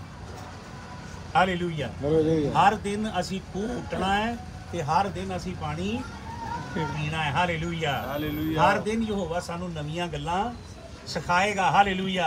ਉਹੀ ਵਚਨ ਤੁਸੀਂ ਪੜੋਗੇ ਮੈਂ 30 ਸਾਲ ਪਹਿਲਾਂ ਜਿਹੜਾ ਵਚਨ ਪੜਿਆ ਉਹ ਅੱਜ ਮੈਨੂੰ ਯਹੋਵਾ ਉਹ ਚ ਪਤਾ ਨਹੀਂ ਕੀ ਕੀ ਸਿਖਾ ਦਿੰਦਾ ਜੀ। ਕਿਉਂਕਿ ਇਹ ਪੁਸਤਕ ਜਿਹੜੀ ਏ ਇਹ ਕਿਤਾਬ ਪਤਾ ਕੀ ਏ? ਇਹ ਜਿੰਦਾ ਕਿਤਾਬ ਏ। ਇਹ ਹੈਗੀ ਜੇ ਕਾਗਜ਼ ਦੀ ਸ਼ੇਪ 'ਚ ਆ ਗੱਤਾ ਲੱਗਾ ਜੇ ਕਾਲੀ ਸਿਆਹੀ ਤੇ ਲਾਲ ਸਿਆਹੀ ਨਾਲ ਅੱਖਰ ਲਿਖੇ ਨੇ ਪਰ ਇਹ ਜ਼ਿੰਦਾ ਐਂਟੀਟੀ ਹੈ ਹਾਲੇਲੂਇਆ। ਹਾਲੇਲੂਇਆ। ਇਹ ਜੀਵਿਤ ਪੁਸਤਕ ਹੈ ਹਾਲੇਲੂਇਆ। ਇਹ ਇਹੋ ਜੀ ਪੁਸਤਕ ਹੈ ਜਿਹੜੀ ਥੋੜਾ ਥੋੜਾ ਕਰਕੇ ਜ਼ਿੰਦਾ ਹੋ ਰਹੀ ਹੈ। ਇਹਦੇ ਪ੍ਰਕਾਸ਼ ਕਈ ਲੁਕੋਏ ਗਏ ਨੇ। ਦਾਨੀਲ ਨੂੰ ਕਿਹਾ ਗਿਆ, ਮੋਹਰ ਲਾ ਕੇ ਬੰਦ ਕਰ ਦੇ। ਕਈ ਹਿੱਸੇ ਦੇ ਬੰਦ ਕੀਤੇ ਗਏ ਨੇ, ਜਿਹੜੇ ਸਮਝ ਨਹੀਂ ਆਏ। ਕਈ ਹਿੱਸੇ ਹੁਣ ਪਰਮੇਸ਼ਵਰ ਖੋਲ ਰਿਹਾ ਜੀ। ਯੁਗਾਂ ਦੇ ਅਨੁਸਾਰ ਪਰਮੇਸ਼ਰ ਆਪਣੀ ਮਨਸਾ ਨੂੰ, ਆਪਣੀ ਯੋਜਨਾ ਨੂੰ ਇਸ ਪੁਸਤਕ ਵਿੱਚੋਂ ਖੋਲਦਾ ਹੈ। ਇਹ ਪੁਸਤਕ ਅਨੂਠੀ ਏ। ਇਦਾਂ ਦੀ ਹੋਈ, ਹੋਰ ਕੋਈ ਕਿਤਾਬ ਧਰਤੀ ਤੇ ਇਹਦੇ ਅੰਦਰ ਜਿਹੜਾ ਮੈਸੇਜ ਹੈ ਨਾ ਇੰਟੀਗ੍ਰੇਟਿਡ ਮੈਸੇਜ ਉਹ ਉੱਤੋਂ ਜੇ। ਤਾਰਿਆਂ ਤੋਂ ਪਰੇ ਦੀ ਦੁਨੀਆ ਤੋਂ ਆਇਆ ਜੀ। ਹਾਲੇਲੂਇਆ ਸੂਰਜ ਚੰਨ ਤੇ ਤਾਰਿਆਂ ਤੋਂ ਪਰੇ ਤੋਂ ਆਇਆ ਜੀ ਇਹਦੇ ਅੰਦਰ ਦਾ ਸੰਦੇਸ਼ ਤੇ ਇਹਨੂੰ ਕੇਵਲ ਪਵਿੱਤਰ ਆਤਮਾ ਅਨਲੌਕ ਕਰ ਸਕਦਾ ਹੈ। ਪਵਿੱਤਰ ਆਤਮਾ ਇਹਨੂੰ ਖੋਲ ਸਕਦਾ ਹੈ। ਇਹ ਪਿੰਡ ਦੇ ਵਿੱਚ ਬਾਈਬਲ 'ਚ ਪਿੰਡ ਦੀ ਸਟੱਡੀ ਕਰਨਾ। ਮੈਂ YouTube ਤੇ ਆਪਣੀ YouTube ਤੇ 3-4 ਘੰਟੇ ਦੀ ਸਿੱਖਿਆ ਪਾਈ ਹੈ ਪਿੰਡ ਦੇ ਉੱਤੇ। ਪੜਨਾ ਬਾਈਬਲ 'ਚ ਪਿੰਡ ਦੀ ਕੀ ਖਾਸੀਅਤ ਹੈ? ਜਿੱਥੇ ਦਾਣੇ ਵੱਖਰੇ ਤੇ ਤੂੜੀ ਵੱਖਰੇ। ਦਾਣਿਆਂ ਨੂੰ ਪਰਮੇਸ਼ਵਰ ਆਪਣੇ ਗੋਦਾਮ 'ਚ ਇਕੱਠਾ ਕਰਦਾ ਹੈ ਤੇ ਤੂੜੀ ਨੂੰ ਉਸ ਅੱਗ ਵਿੱਚ ਸਿੱਟਦਾ ਹੈ ਜਿਹੜੀ ਕਦੇ ਬੁਝੇਗੀ। ਪਰਮੇਸ਼ਵਰ ਨੂੰ ਤੂੜੀ ਪਸੰਦ ਨਹੀਂ ਜੇ। ਅੱਜ ਬਹੁਤ ਸਾਰੀ ਸੇਵਕਾਈਆਂ ਇੰਨੇ ਕ ਦਾਣੇ ਜੇ ਤੇ ਜਿੱਦਾਂ ਟਰੱਕ ਨਹੀਂ ਓਵਰਲੋਡ ਹੋਏ ਹੁੰਦੇ ਤੂੜੀ ਨਾਲ ਐਡੇ ਐਡੇ ਟਰੱਕ ਜੇ ਤੂੜੀ ਦੇ ਉਹਨਾਂ ਦੇ ਕੋਲ। ਜਿਹੜੇ ਲੋਕਾਂ ਦੇ ਅੰਦਰ ਕੋਈ ਮਸੀਹ ਦੇ ਕਲਾਮ ਦੀ ਬੁਨਿਆਦ, ਉਹ ਪ੍ਰਭੂ ਨੂੰ ਜਾਣਦੇ ਵੀ ਨਹੀਂ ਜੀ। ਪਰਮੇਸ਼ਵਰ ਦੇ ਵਚਨ ਦੇ ਨਾਲ ਕੋਈ ਪਹਿਚਾਨ ਨਹੀਂ। ਉਹਨਾਂ ਨੇ ਨਜ਼ਾਤ ਦਾ ਸਵਾਦ ਵੀ ਨਹੀਂ ਜੇ ਚੱਖਿਆ। ਉਹਨਾਂ ਨੇ ਮੋਕਸ਼ ਦਾ ਤਜਰਬਾ ਨਹੀਂ ਪਾਇਆ। ਇਸ ਤਰ੍ਹਾਂ ਦੀ ਭੀੜਾਂ ਇਕੱਠੀਆਂ ਕੀਤੀਆਂ ਜੇ। ਤੇ ਡੀਂਗ ਮਾਰਦੇ ਨੇ ਕਿ ਵਿਸ਼ਵ ਦੀ ਸਭ ਨਾਲੋਂ ਵੱਡੀ ਜਾਂ ਏਸ਼ੀਆ ਦੀ ਸਭ ਨਾਲੋਂ ਵੱਡੀ ਜਾਂ ਵਿਸ਼ਵ ਦੀ ਇਹ ਮੈਡਲ ਲੈ ਕੇ ਕੀ ਕਰਨਾ ਜੀ? ਕਿਹੜੀ ਕਲੀਸਿਆ ਵੱਡੀ ਤੇ ਕਿਹੜੀ ਛੋਟੀ ਏ ਇਹਦਾ ਨਿਰਣੇ ਤੁਸੀਂ ਕਰੋਗੇ ਜਾਂ ਯਿਸੂ ਮਸੀਹ ਕਰੇਗਾ? ਹੈ? ਕੌਣ ਗੱਜ ਲਾਏਗਾ ਇਹਦੇ ਤੇ ਮਿਲਣ ਲਈ? ਯੀਸ਼ੂ ਮਸੀਹ। ਹੋ ਸਕਦਾ ਹੈ ਯੀਸ਼ੂ ਮਸੀਹ ਦੀ ਨਜ਼ਰ 'ਚ ਇੱਕ ਸੇਵਕ ਇੱਕ ਛੋਟੇ ਜਿਹੇ ਪਿੰਡ 'ਚ ਸਾਈਕਲ ਚਲਾ ਕੇ ਸੇਵਾ ਕਰਦਾ ਹੈ। ਪੰਜ ਸੱਤ ਪਿੰਡਾਂ ਦੇ ਵਿੱਚ ਚਾਰ ਚਾਰ ਪੰਜ ਪੰਜ ਵਿਸ਼ਵਾਸੀ ਘਰ ਹੈ। ਉਹ 30 ਸਾਲਾਂ ਤੋਂ ਵਫਾਦਾਰੀ ਨਾਲ ਸੇਵਾ ਕਰ ਰਿਹਾ ਉੱਥੇ। ਹੋ ਸਕਦਾ ਉਹ ਕਲੀਸਿਆ ਪ੍ਰਭੂ ਦੀ ਨਜ਼ਰ 'ਚ ਸਭ ਨਾਲੋਂ ਕੀਮਤੀ। ਹਾਲੇਲੂਇਆ। ਇਹਦਾ ਫੈਸਲਾ ਪ੍ਰਭੂ ਨੂੰ ਕਰਨ ਦਿਓ। ਹਾਲੇਲੂਇਆ। ਇਹਦਾ ਫੈਸਲਾ ਅਸੀਂ ਨਹੀਂ ਕਰ ਸਕਦੇ। ਸੋ ਪਿੰਡ ਦੇ ਅੰਦਰ ਬੜੀ ਖਾਸ ਗੱਲ ਹੁੰਦੀ ਜੇ ਪਿੰਡ ਦੇ ਉੱਤੇ ਬਹੁਤ ਸਿੱਖਿਆ ਹੈ ਸਾਰੀ ਤੇ ਮੈਂ ਅੱਜ ਤੁਹਾਨੂੰ ਨਹੀਂ ਦੇ ਸਕਦਾ ਪਰ ਮੈਂ ਕੁਝ ਗੱਲਾਂ ਦੱਸਣੀਆਂ ਚਾਹਨਾ ਤੁਹਾਨੂੰ। ਸਭ ਤੋਂ ਪਹਿਲਾਂ ਤੁਸੀਂ ਕੰਮ ਕਰੋ 22 ਅਧਿਆਇ ਉਤਪਤੀ ਕਿਤਾਬ ਖੋਲੋ ਉਤਪਤੀ ਕਿਤਾਬ ਉਹਦਾ 22 ਅਧਿਆਇ। ਉਤਪਤੀ ਕਿਤਾਬ ਉਹਦਾ 22 ਅਧਿਆਇ। 22 ਦੇ ਪਹਿਲੇ ਤੋਂ ਪੜ੍ਹ ਲਓ। ਇਹਨਾਂ ਗੱਲਾਂ ਦੇ ਪਿੱਛੋਂ ਐਵੇਂ ਹੋਇਆ ਕਿ ਪਰਮੇਸ਼ਰ ਨੇ ਅਬਰਾਹਾਮ ਨੂੰ ਪਰਤਾਇਆ ਅਬਰਾਹਮ ਨੂੰ ਪਰਤਾਇਆ। ਅਤੇ ਉਸ ਨੂੰ ਆਖਿਆ ਹੇ ਅਬਰਾਹਾਮ ਅੱਗੋਂ ਉਸ ਨੇ ਆਖਿਆ ਮੈਂ ਹਾਜ਼ਰ ਹਾਂ। ਹੂੰ। ਤਾਂ ਉਸ ਨੇ ਆਖਿਆ ਹੁਣ ਤੂੰ ਆਪਣੇ ਪੁੱਤਰ ਨੂੰ ਹਾਂ ਆਪਣੇ ਇਕਲੌਤੇ ਨੂੰ ਜਿਸ ਨੂੰ ਤੂੰ ਪਿਆਰ ਕਰਦਾ ਹੈ। ਅਰਥਾਤ ਇਸਹਾਕ ਨੂੰ ਲੈ ਕੇ ਮੋਰੀਆ ਦੀ ਧਰਤੀ ਨੂੰ ਜਾ। ਕਿਹੜੀ ਜਗ੍ਹਾ ਚਲਾ ਜਾ? ਮੋਰੀਆ। ਕਿੱਥੇ ਪਰਮੇਸ਼ਵਰ ਨੇ ਕਿਹਾ ਇਬਰਾਹਾਮ ਨੂੰ ਆਪਣੇ ਬੇਟੇ ਨੂੰ ਜਗਵੇਦੀ ਬਣਾ ਕੇ ਕੁਰਬਾਨ ਕਰਨ ਲਈ? ਮੋਰੀਆ ਪਹਾੜ ਦੇ ਮਾਉਂਟ ਮੋਰਾਇਆ ਤੁਹਾਨੂੰ ਪਤਾ ਮੋਰਾਇਆ ਦਾ ਮਤਲਬ ਕੀ ਮੋਰੀਆ ਦਾ ਮੋਰੀਆ ਦਾ ਮਤਲਬ ਹੈ God shall be seen from there ਉੱਥੋਂ ਦੀ ਯਹੋਵਾ ਦੁਨੀਆ ਦੀ ਕੌਮਾਂ ਨੂੰ ਦਿਖਾਈ ਦੇਵੇਗਾ ਹਾਲੇਲੂਇਆ ਮੋਰੀਆ ਦਾ ਮਤਲਬ ਹੈ ਮੋਰੀਆ ਇੱਥੋਂ ਯਹੋਵਾ ਆਪਣੇ ਚਿਹਰੇ ਨੂੰ ਪ੍ਰਕਾਸ਼ਮਾਨ ਕਰੇਗਾ ਉਹਨੇ ਕਿਹਾ ਮੋਰੀਆ ਦੇ ਪਹਾੜ ਦੇ ਉੱਤੇ ਆਪਣੇ ਬੇਟੇ ਨੂੰ ਲੈ ਜਾ ਉਹਨੇ ਮੋਰੀਆ ਦੇ ਪਹਾੜ ਦੇ ਉੱਤੇ ਜਾ ਕੇ ਜਗਵੇਦੀ ਬਣਾਈ ਤੇ ਆਪਣੇ ਪੁੱਤਰ ਨੂੰ ਕੁਰਬਾਨ ਕਰਨ ਲੱਗਾ ਪਰ ਪਰਮੇਸ਼ਵਰ ਨੇ ਉਹਨੂੰ ਕਿਹਾ ਇਹ ਕੰਮ ਨਾ ਕਰ। ਹਾਲੇਲੂਇਆ ਤੇ। ਫਿਰ ਪਰਮੇਸ਼ਵਰ ਨੇ ਉਹਨੂੰ ਝਾੜੀਆਂ ਦੇ ਵਿੱਚ ਇੱਕ ਮੇਢਾ ਦਿਖਾਇਆ ਜਿਹਦੇ ਸਿੰਘ ਇਸ ਤਰ੍ਹਾਂ ਝਾੜੀਆਂ 'ਚ ਫਸੇ ਸਨ। ਹਾਲੇਲੂਇਆ ਕੌਣ ਹੈ ਉਹ ਮੇਢਾ ਜਿਹਦੇ ਸਿਰ ਦੇ ਉੱਤੇ ਕੰਡਿਆਂ ਦਾ ਤਾਜ ਹੈ? ਖੁਦਾਵੰਦ ਯਿਸੂ ਮਸੀਹ। ਹਾਲੇਲੂਇਆ ਹਾਲੇਲੂਇਆ ਤੇ। ਇਬਰਾਹਿਮ ਨੇ ਆਪਣੇ ਪੁੱਤ ਨੂੰ ਇਹ ਕਿਹਾ ਜਦੋਂ ਉਹਨੇ ਪੁੱਛਿਆ ਅੱਗ ਵੀ ਇਹ ਲੱਕੜਾਂ ਵੀ ਨੇ ਪਰ ਲੀਲਾ ਤੇ ਉਹਨੇ ਆਪਣੇ ਪੁੱਤ ਨੂੰ ਕਿਹਾ ਯਾਹੂਆ ਯਾਹਿਰਾ। ਜਿਹਦਾ ਮਤਲਬ ਯਹੋਵਾ ਮੁਹੱਈਆ ਤੇ ਇਹਦਾ ਅਸਲੀ ਮਤਲਬ ਰੱਬੀ ਦੱਸਦੇ ਨੇ ਇਹ ਵੀ ਹੈ ਕਿ ਯਹੋਵਾ ਆਪੇ ਲੀਲਾ ਬਣੇਗਾ। Hallelujah hallelujah. ਯਹੋਵਾ ਆਪੇ ਲੀਲਾ ਬਣ ਕੇ ਧਰਤੀ ਉੱਤੇ ਆਏਗਾ। ਹੁਣ ਇੱਕ ਵਚਨ ਹੋਰ ਪੜੋ ਜਲਦੀ ਨਾਲ। ਦੂਸਰਾ ਇਤਿਹਾਸ 3 ਅਧਿਆਇ ਦਾ ਪਹਿਲਾ ਵਚਨ। ਦੂਸਰਾ ਇਤਿਹਾਸ 3 ਦਾ ਪਹਿਲਾ। ਦੂਸਰਾ ਇਤਿਹਾਸ 3 ਅਧਿਆਇ ਦਾ ਪਹਿਲਾ ਵਚਨ ਪੜ੍ਹੀਏ। ਤਦ ਸੁਲੇਮਾਨ ਯਰੂਸ਼ਲਮ ਵਿੱਚ ਮੋਰੀਆ ਜਾਂ ਪਹਾੜ ਉੱਤੇ ਉਸ ਥਾਂ ਯਹੋਵਾ ਦਾ ਭਵਨ ਬਣਾਉਣ ਲੱਗਾ। ਜਿੱਥੇ ਉਹਦੇ ਪਿਤਾ ਦੌਦ ਨੂੰ ਉਸ ਦਾ ਦਰਸ਼ਨ ਹੋਇਆ ਸੀ। ਹਾਲੇਲੂਇਆ ਦੇਖੋ ਕਿਹੜੀ ਜਗ੍ਹਾ ਮੰਦਿਰ ਬਣ ਰਿਹਾ ਯਹੋਵਾ ਦਾ? ਮੋਰੀਆ ਪਹਾੜ ਦੇ ਉੱਤੇ। ਇਹ ਉਹੀਓ ਪਹਾੜ ਏ ਜਿੱਥੇ ਇਬਰਾਹਾਮ ਨੇ ਇਸਹਾਕ ਨੂੰ ਚੜਾਉਣ ਦੇ ਲਈ ਕੀ ਕੀਤਾ ਏ? ਜਗਵੇਦੀ ਬਣਾਈ ਏ। ਉੱਥੇ ਹੀ ਸੁਲੇਮਾਨ ਆਪਣੇ ਪੁੱਤਰ ਆਪਣੇ ਪਿਤਾ ਦਾਊਦ ਦੀ ਹਿਦਾਇਤ ਦੇ ਅਨੁਸਾਰ ਯਹੋਵਾ ਦੇ ਦਿੱਤੇ ਦਰਸ਼ਨ ਦੇ ਅਨੁਸਾਰ ਐਗਜ਼ੈਕਟ ਉਸੇ ਜਗ੍ਹਾ ਜਾ ਕੇ ਕੀ ਬਣਾ ਰਿਹਾ ਏ? ਯਹੋਵਾ ਦੀ ਹੈਕਲ ਪੜ੍ਹ ਲਓ ਪੂਰਾ ਵਚਨ ਪੜ੍ਹੋ। ਉਸੇ ਥਾਂ ਜਿਹੜਾ ਆਰਨਾਨ ਜਬੂਸੀ ਦੇ ਪਿੰਡ ਵਿੱਚ ਦੌਦ ਨੇ ਕਿਹੜਾ ਕਿਹੜਾ ਸਥਾਨ ਹੈ ਇਹ ਹਾਂ। ਇਹ ਪੇੜ ਹੈ ਪੇੜ। ਕਿਹਦਾ ਅਰੁਣਾ ਜਬੂਸੀ ਦਾ ਪੇੜ। ਇਹ ਉਹ ਜਗ੍ਹਾ ਹੈ ਜਿੱਥੇ ਦਾਣੇ ਵੱਖਰੇ ਹੁੰਦੇ ਐ ਤੇ ਤੂੜੀ। ਤੂੜੀ ਵੱਖਰੀ ਹੁੰਦੀ ਹੈ ਕਿੱਥੇ ਯਹੋਵਾ ਦੀ ਹੈਕਲ ਬਣ ਰਹੀ ਏ? ਉਸ ਜਗ੍ਹਾ ਬਣ ਰਹੀ ਏ ਜਿਹੜੀ ਜਗ੍ਹਾ ਪੇੜ ਏ। ਇਹ ਪੇੜ ਬੜਾ ਖਤਰਨਾਕ ਏ। ਇਹ ਪੇੜ ਦੇ ਵਿੱਚ ਯਹੋਵਾ ਦਾ ਦੰਡ ਆਂਦਾ ਜੇ ਜੱਜਮੈਂਟ ਆਂਦੀ ਜੇ। ਇਹ ਪੇੜ ਦੇ ਵਿੱਚ ਯਹੋਵਾ ਮਾਰ ਸਿੱਟਦਾ ਹੈ ਯਹੋਵਾ ਨੂੰ ਪਾਪ ਤੇ ਬਦਕਾਰੀ ਪਸੰਦ ਉਹ ਫੜਕਾ ਦਿੰਦਾ ਜੇ ਇਸ ਪੇੜ 'ਚ। ਇਸੇ ਪੇੜ ਦੇ ਵਿੱਚ ਜਿੱਥੇ ਦਾਣੇ ਵੱਖਰੇ ਤੇ ਤੂੜੀ ਨੂੰ ਅੱਗ ਦੇ ਵਿੱਚ ਸਿੱਟਿਆ ਜਾਂਦਾ ਹੈ ਉਸ ਪੇੜ ਦੇ ਵਿੱਚ ਯਹੋਵਾ ਦੀ ਹੈਕਲ ਖੜੀ ਹੋਈ। ਪੜ੍ਹ ਲਓ ਇੱਕ ਵਚਨ ਜਲਦੀ ਨਾਲ ਦੂਸਰਾ ਸੈਮੂਅਲ 24 ਅਧਿਆਏ। ਉਹਦੇ 18 ਵਚਨ ਤੋਂ ਪੜ੍ਹੋ ਜਲਦੀ ਜਲਦੀ ਪੜ੍ਹ ਲਓ। ਦੂਸਰਾ ਸੈਮੂਅਲ 24 ਦੇ 18 ਤੋਂ। ਪੜ੍ਹੀਏ ਜੇ ਕਿਸੇ ਹੋਰ ਨੂੰ ਮਿਲਦਾ ਪੜ੍ਹ ਲਓ ਜਲਦੀ ਨਾਲ। ਸੈਕੰਡ ਸੈਮੂਅਲ 24 18 ਟੂ 24 ਦੂਜਾ ਸੈਮੂਅਲ 24 ਦਾ 18 ਉਸ ਦਿਨ ਗਾਦ ਦੌਦ ਕੋਲ ਆਇਆ ਹੂੰ। ਅਤੇ ਉਹਨੂੰ ਆਖਿਆ ਜਾ ਤੇ ਜਬੂਸੀ ਹੂੰ। ਅਰਬ ਨਾਂ ਦੇ ਪਿੰਡ ਵਿੱਚ। ਯਹੋਵਾ ਦੇ ਲਈ ਇੱਕ ਜਗਵੇਦੀ ਉਸਾਰ। ਹੂੰ। ਤਾਂ ਦੌਦ ਨੇ ਗਾਦ ਦੇ ਆਖਣ ਅਨੁਸਾਰ ਜਿਵੇਂ ਯਹੋਵਾ ਦੀ ਆਗਿਆ ਸੀ ਉਤਾਂ ਗਿਆ। ਕਿੱਥੇ ਗਿਆ? ਉਤਾਂ ਪਹਾੜ ਤੇ ਚੜ ਗਿਆ। ਹੀਬਰੂ ਚ ਲਿਖਿਆ ਪਹਾੜ ਤੇ। ਕਿਹੜੇ ਪਹਾੜ ਤੇ ਚੜ ਗਿਆ? ਮੋਰੀਆ ਪਹਾੜ ਤੇ ਚੜ ਗਿਆ ਦਾਊਦ। ਕਿਉਂ? ਕਿਉਂਕਿ ਪਲੇਗ ਆ ਗਈ ਏ। ਦਾਊਦ ਨੇ ਇਜ਼ਰਾਈਲ ਦੀ ਗਿਣਤੀ ਕੀਤੀ ਏ ਤੇ ਯਹੋਵਾ ਹਜ਼ਾਰਾਂ ਇਸرائیਲੀਆਂ ਨੂੰ ਵੱਢ ਰਿਹਾ ਹੈ ਤੇ ਪਲੇਗ ਰੋਕ ਦਿੱਤੀ ਏ। ਕਿਉਂ? ਇਸ ਦਾ ਪਿਛਲਾ ਬਚਨ ਪੜੋ ਇੱਕ ਵਚਨ ਪਿੱਛੇ ਪੜ ਲਓ 17 17 ਅਤੇ ਜਾਂ ਦਾਊਦ ਨੇ ਉਸ ਲੋਕਾਂ ਦੇ ਮਾਰਨ ਵਾਲੇ ਦੂਤ ਨੂੰ ਡਿਠਾ ਤਾਂ ਯਹੋਵਾ ਨੂੰ ਆਖਿਆ। ਵੇਖ ਪਾਪ ਤਾਂ ਮੈਂ ਕੀਤਾ। ਅਤੇ ਬੁਰਾਈ ਵੀ ਮੇਰੇ ਕੋਲ ਹੋਈ। ਪਰ ਇਹਨਾਂ ਭੇਡਾਂ ਦਾ ਕੀ ਦੋਸ਼? ਸੋ ਮੇਰੇ ਉੱਤੇ ਅਤੇ ਮੇਰੇ ਪਿਓ ਦੇ ਘਰਾਣੇ ਉੱਤੇ ਆਪਣਾ ਹੱਥ ਚਲਾ। ਦੇਖੋ ਇਹ ਜੇ ਗਡਰੀਆ ਰਾਜਾ ਦਾ ਸੱਚਾ ਗਡਰੀਆ ਆਪਣੀ ਭੇਡਾਂ ਦੇ ਲਈ ਕੀ ਕਰਦਾ ਜੇ?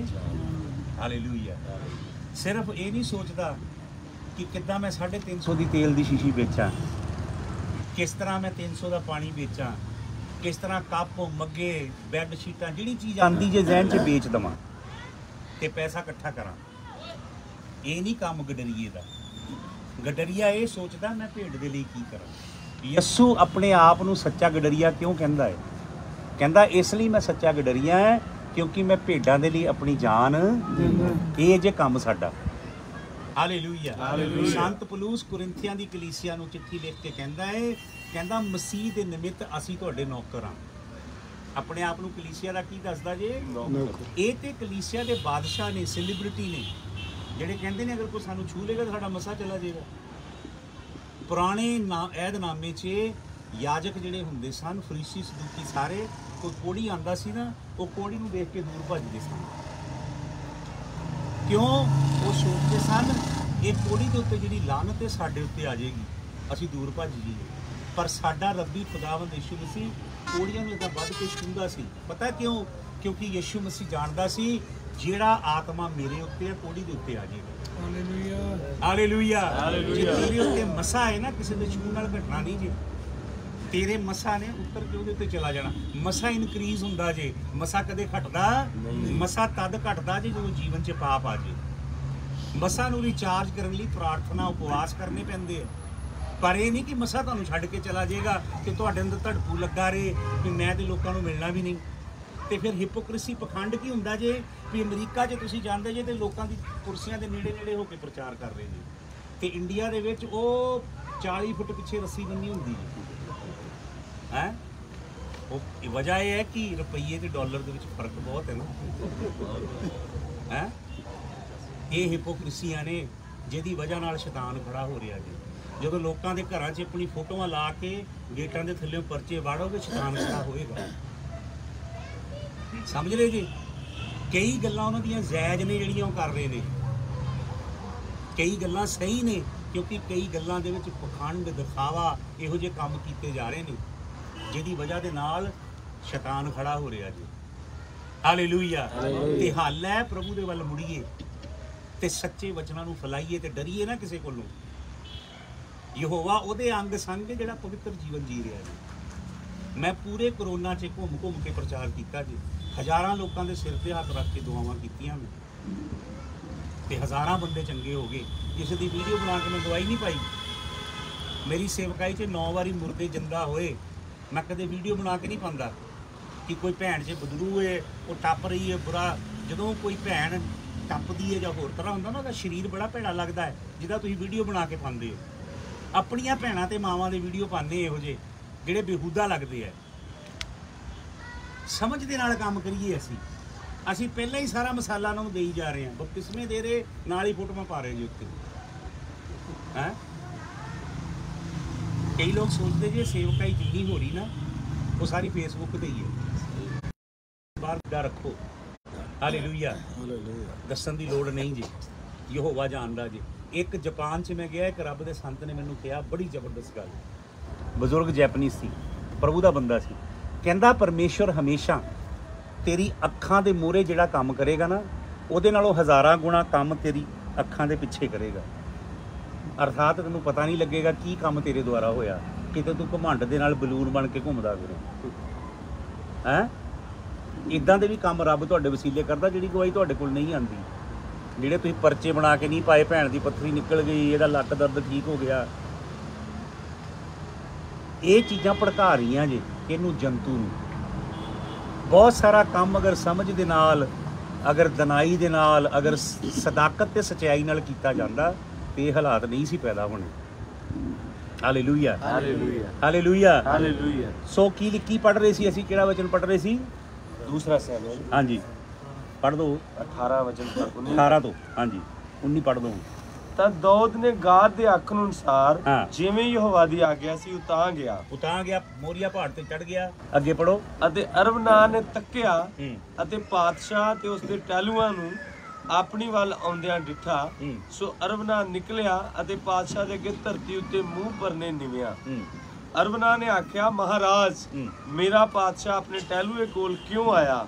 ਦਾਊਦ ਨੇ ਆਖਿਆ ਇਹ ਪੇੜ ਮੈਂ ਤੇਰੇ ਕੋਲੋਂ ਮੁੱਲ ਲਵਾਂ। ਕੀ ਲੈਣਾ ਜੀ ਮੁੱਲ ਰਾਜਾ ਦਾਊਦ ਨੇ?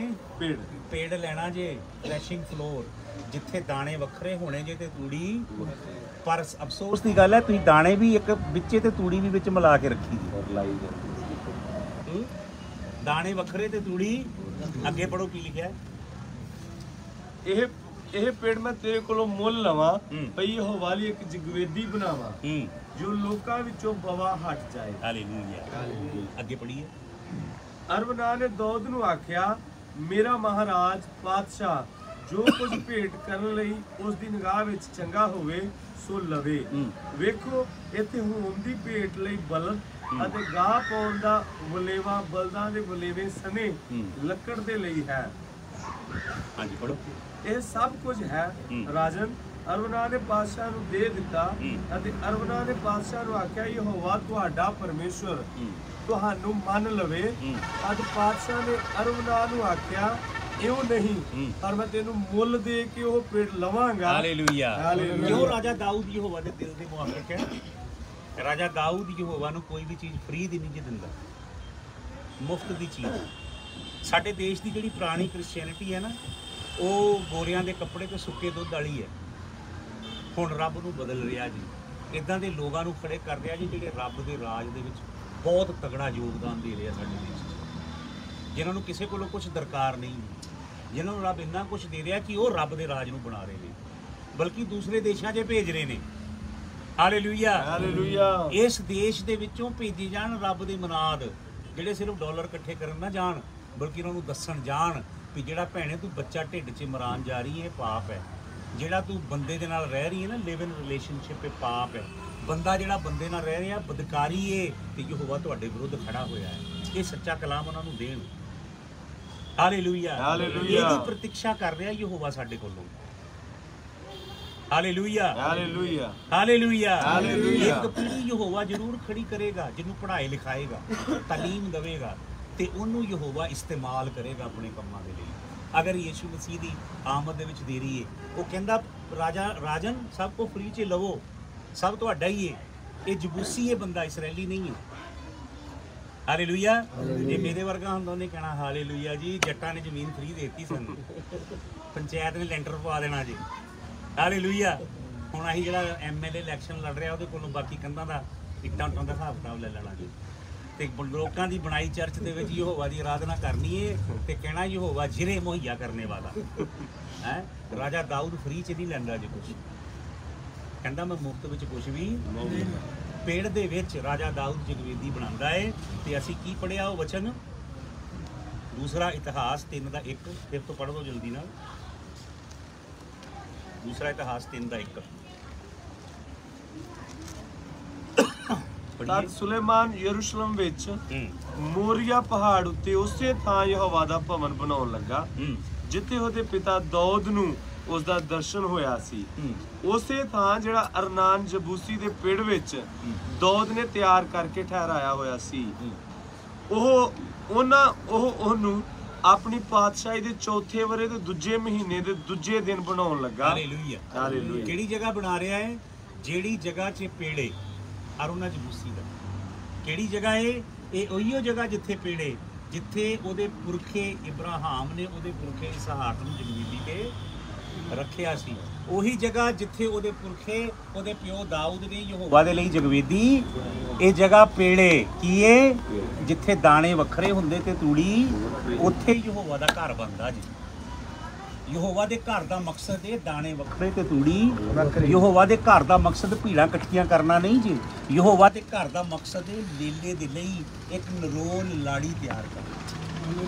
ਹਾਲੇਲੂਇਆ ਹਾਲੇਲੂਇਆ ਹਾਲੇਲੂਇਆ ਤੁਹਾਨੂੰ ਪਤਾ ਹੈ ਰਾਜਾ ਦਾਊਦ ਜਦੋਂ ਉਜ਼ਾ ਮਰ ਗਿਆ ਰਾਜਾ ਦਾਊਦ ਡਰ ਗਿਆ ਵਚਨ 'ਚ ਲਿਖਿਆ ਹੈ। ਦੂਸਰਾ ਸੈਮੂਅਲ ਪੜੋ ਦੂਸਰਾ ਸੈਮੂਅਲ 6 ਦੇ ਆਏ ਉਹਦਾ 10 11 12 ਵਚਨ ਜਲਦੀ ਨਾ ਪੜ੍ਹੋ ਤਿੰਨੇ ਵਚਨ ਦੂਸਰਾ ਸੈਮੂਅਲ 6 ਤੇ ਆਇਆ ਦਾ 10 11 12 ਸੋ ਦੋਦ ਦਾ ਦੋਦ ਦਾ ਜੀ ਨਾ ਕੀਤਾ ਜੋ ਯਹੋਵਾ ਦੇ ਸੰਦੂਕ ਨੂੰ ਆਪਣੇ ਸ਼ਹਿਰ ਵਿੱਚ ਲੈ ਜਾ ਕੇ ਆਪਣੇ ਕੋਲ ਰੱਖੇ ਤਾਂ ਦੋਦ ਉਹਨੂੰ ਇੱਕ ਪਾਸੇ ਅਬੇਦ ਅਦੋਮ ਗਿੱਤੀ ਦੇ ਘਰ ਵਿੱਚ ਲੈ ਗਿਆ। ਇਹਦੇ ਘਰ ਲੈ ਗਿਆ? ਅਦੋਮ ਅਬੇਦ ਅਦੋਮ ਗਤੀਤ ਇਹ ਬੰਦਾ ਬਹੁਤ ਪ੍ਰਭੂ ਨੂੰ ਪਿਆਰ ਕਰਦਾ ਹੈ। ਰਾਜਾ ਦਾਊਦ ਨੂੰ ਇਹਦੀ ਗਵਾਹੀ ਪਤਾ ਹੈ ਕਿ ਬੰਦਾ ਬੜਾ ਧਰਮੀ ਤੇ ਯਹੋਵਾ ਦੇ ਨਾਲ ਪਿਆਰ। ਰਾਜਾ ਦਾਊਦ ਉਹਦੇ ਘਰ ਲੈ ਗਿਆ ਰੱਬ ਦੀ ਹਜ਼ੂਰੀ ਨੂੰ। ਹਾਲੇਲੂਇਆ।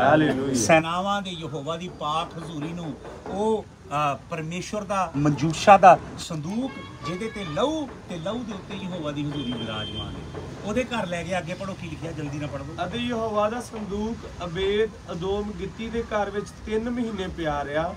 ਅਤੇ ਯਹੋਵਾ ਨੇ ਅਬੇਦ ਅਦੋਮ ਨੂੰ ਅਤੇ ਉਸਦੇ ਸਾਰੇ ਘਰਾਣੇ ਨੂੰ ਬਰਕਤ ਦਿੱਤੀ। ਹਾਲੇ ਜੇ ਤੁਸੀਂ ਵਚਨ ਪੜੋਗੇ ਨਾ ਮੇਰੇ ਕੋਲ ਵੇਲਾ ਨਹੀਂ ਹੁਣ ਇਤਿਹਾਸ ਦੀ ਕਿਤਾਬ 'ਚ। ਇਹ ਬੰਦੇ ਦੇ ਪਰਿਵਾਰ ਦੇ 16 ਬੰਦੇ ਰੱਬ ਦੇ ਸੇਵਕ ਬਣ ਗਏ। ਕਿੰਨੇ ਬੰਦੇ? ਇਹਦੇ ਭਰਾ ਇਹਦੇ ਚਚੇਰੇ ਭਰਾ ਚਾਚਿਆਂ ਦੇ ਤੇ ਇਹਦੇ ਮਸੇਰੇ ਭਰਾ ਮਾਸੀਆਂ ਦੇ ਮੁੰਡੇ।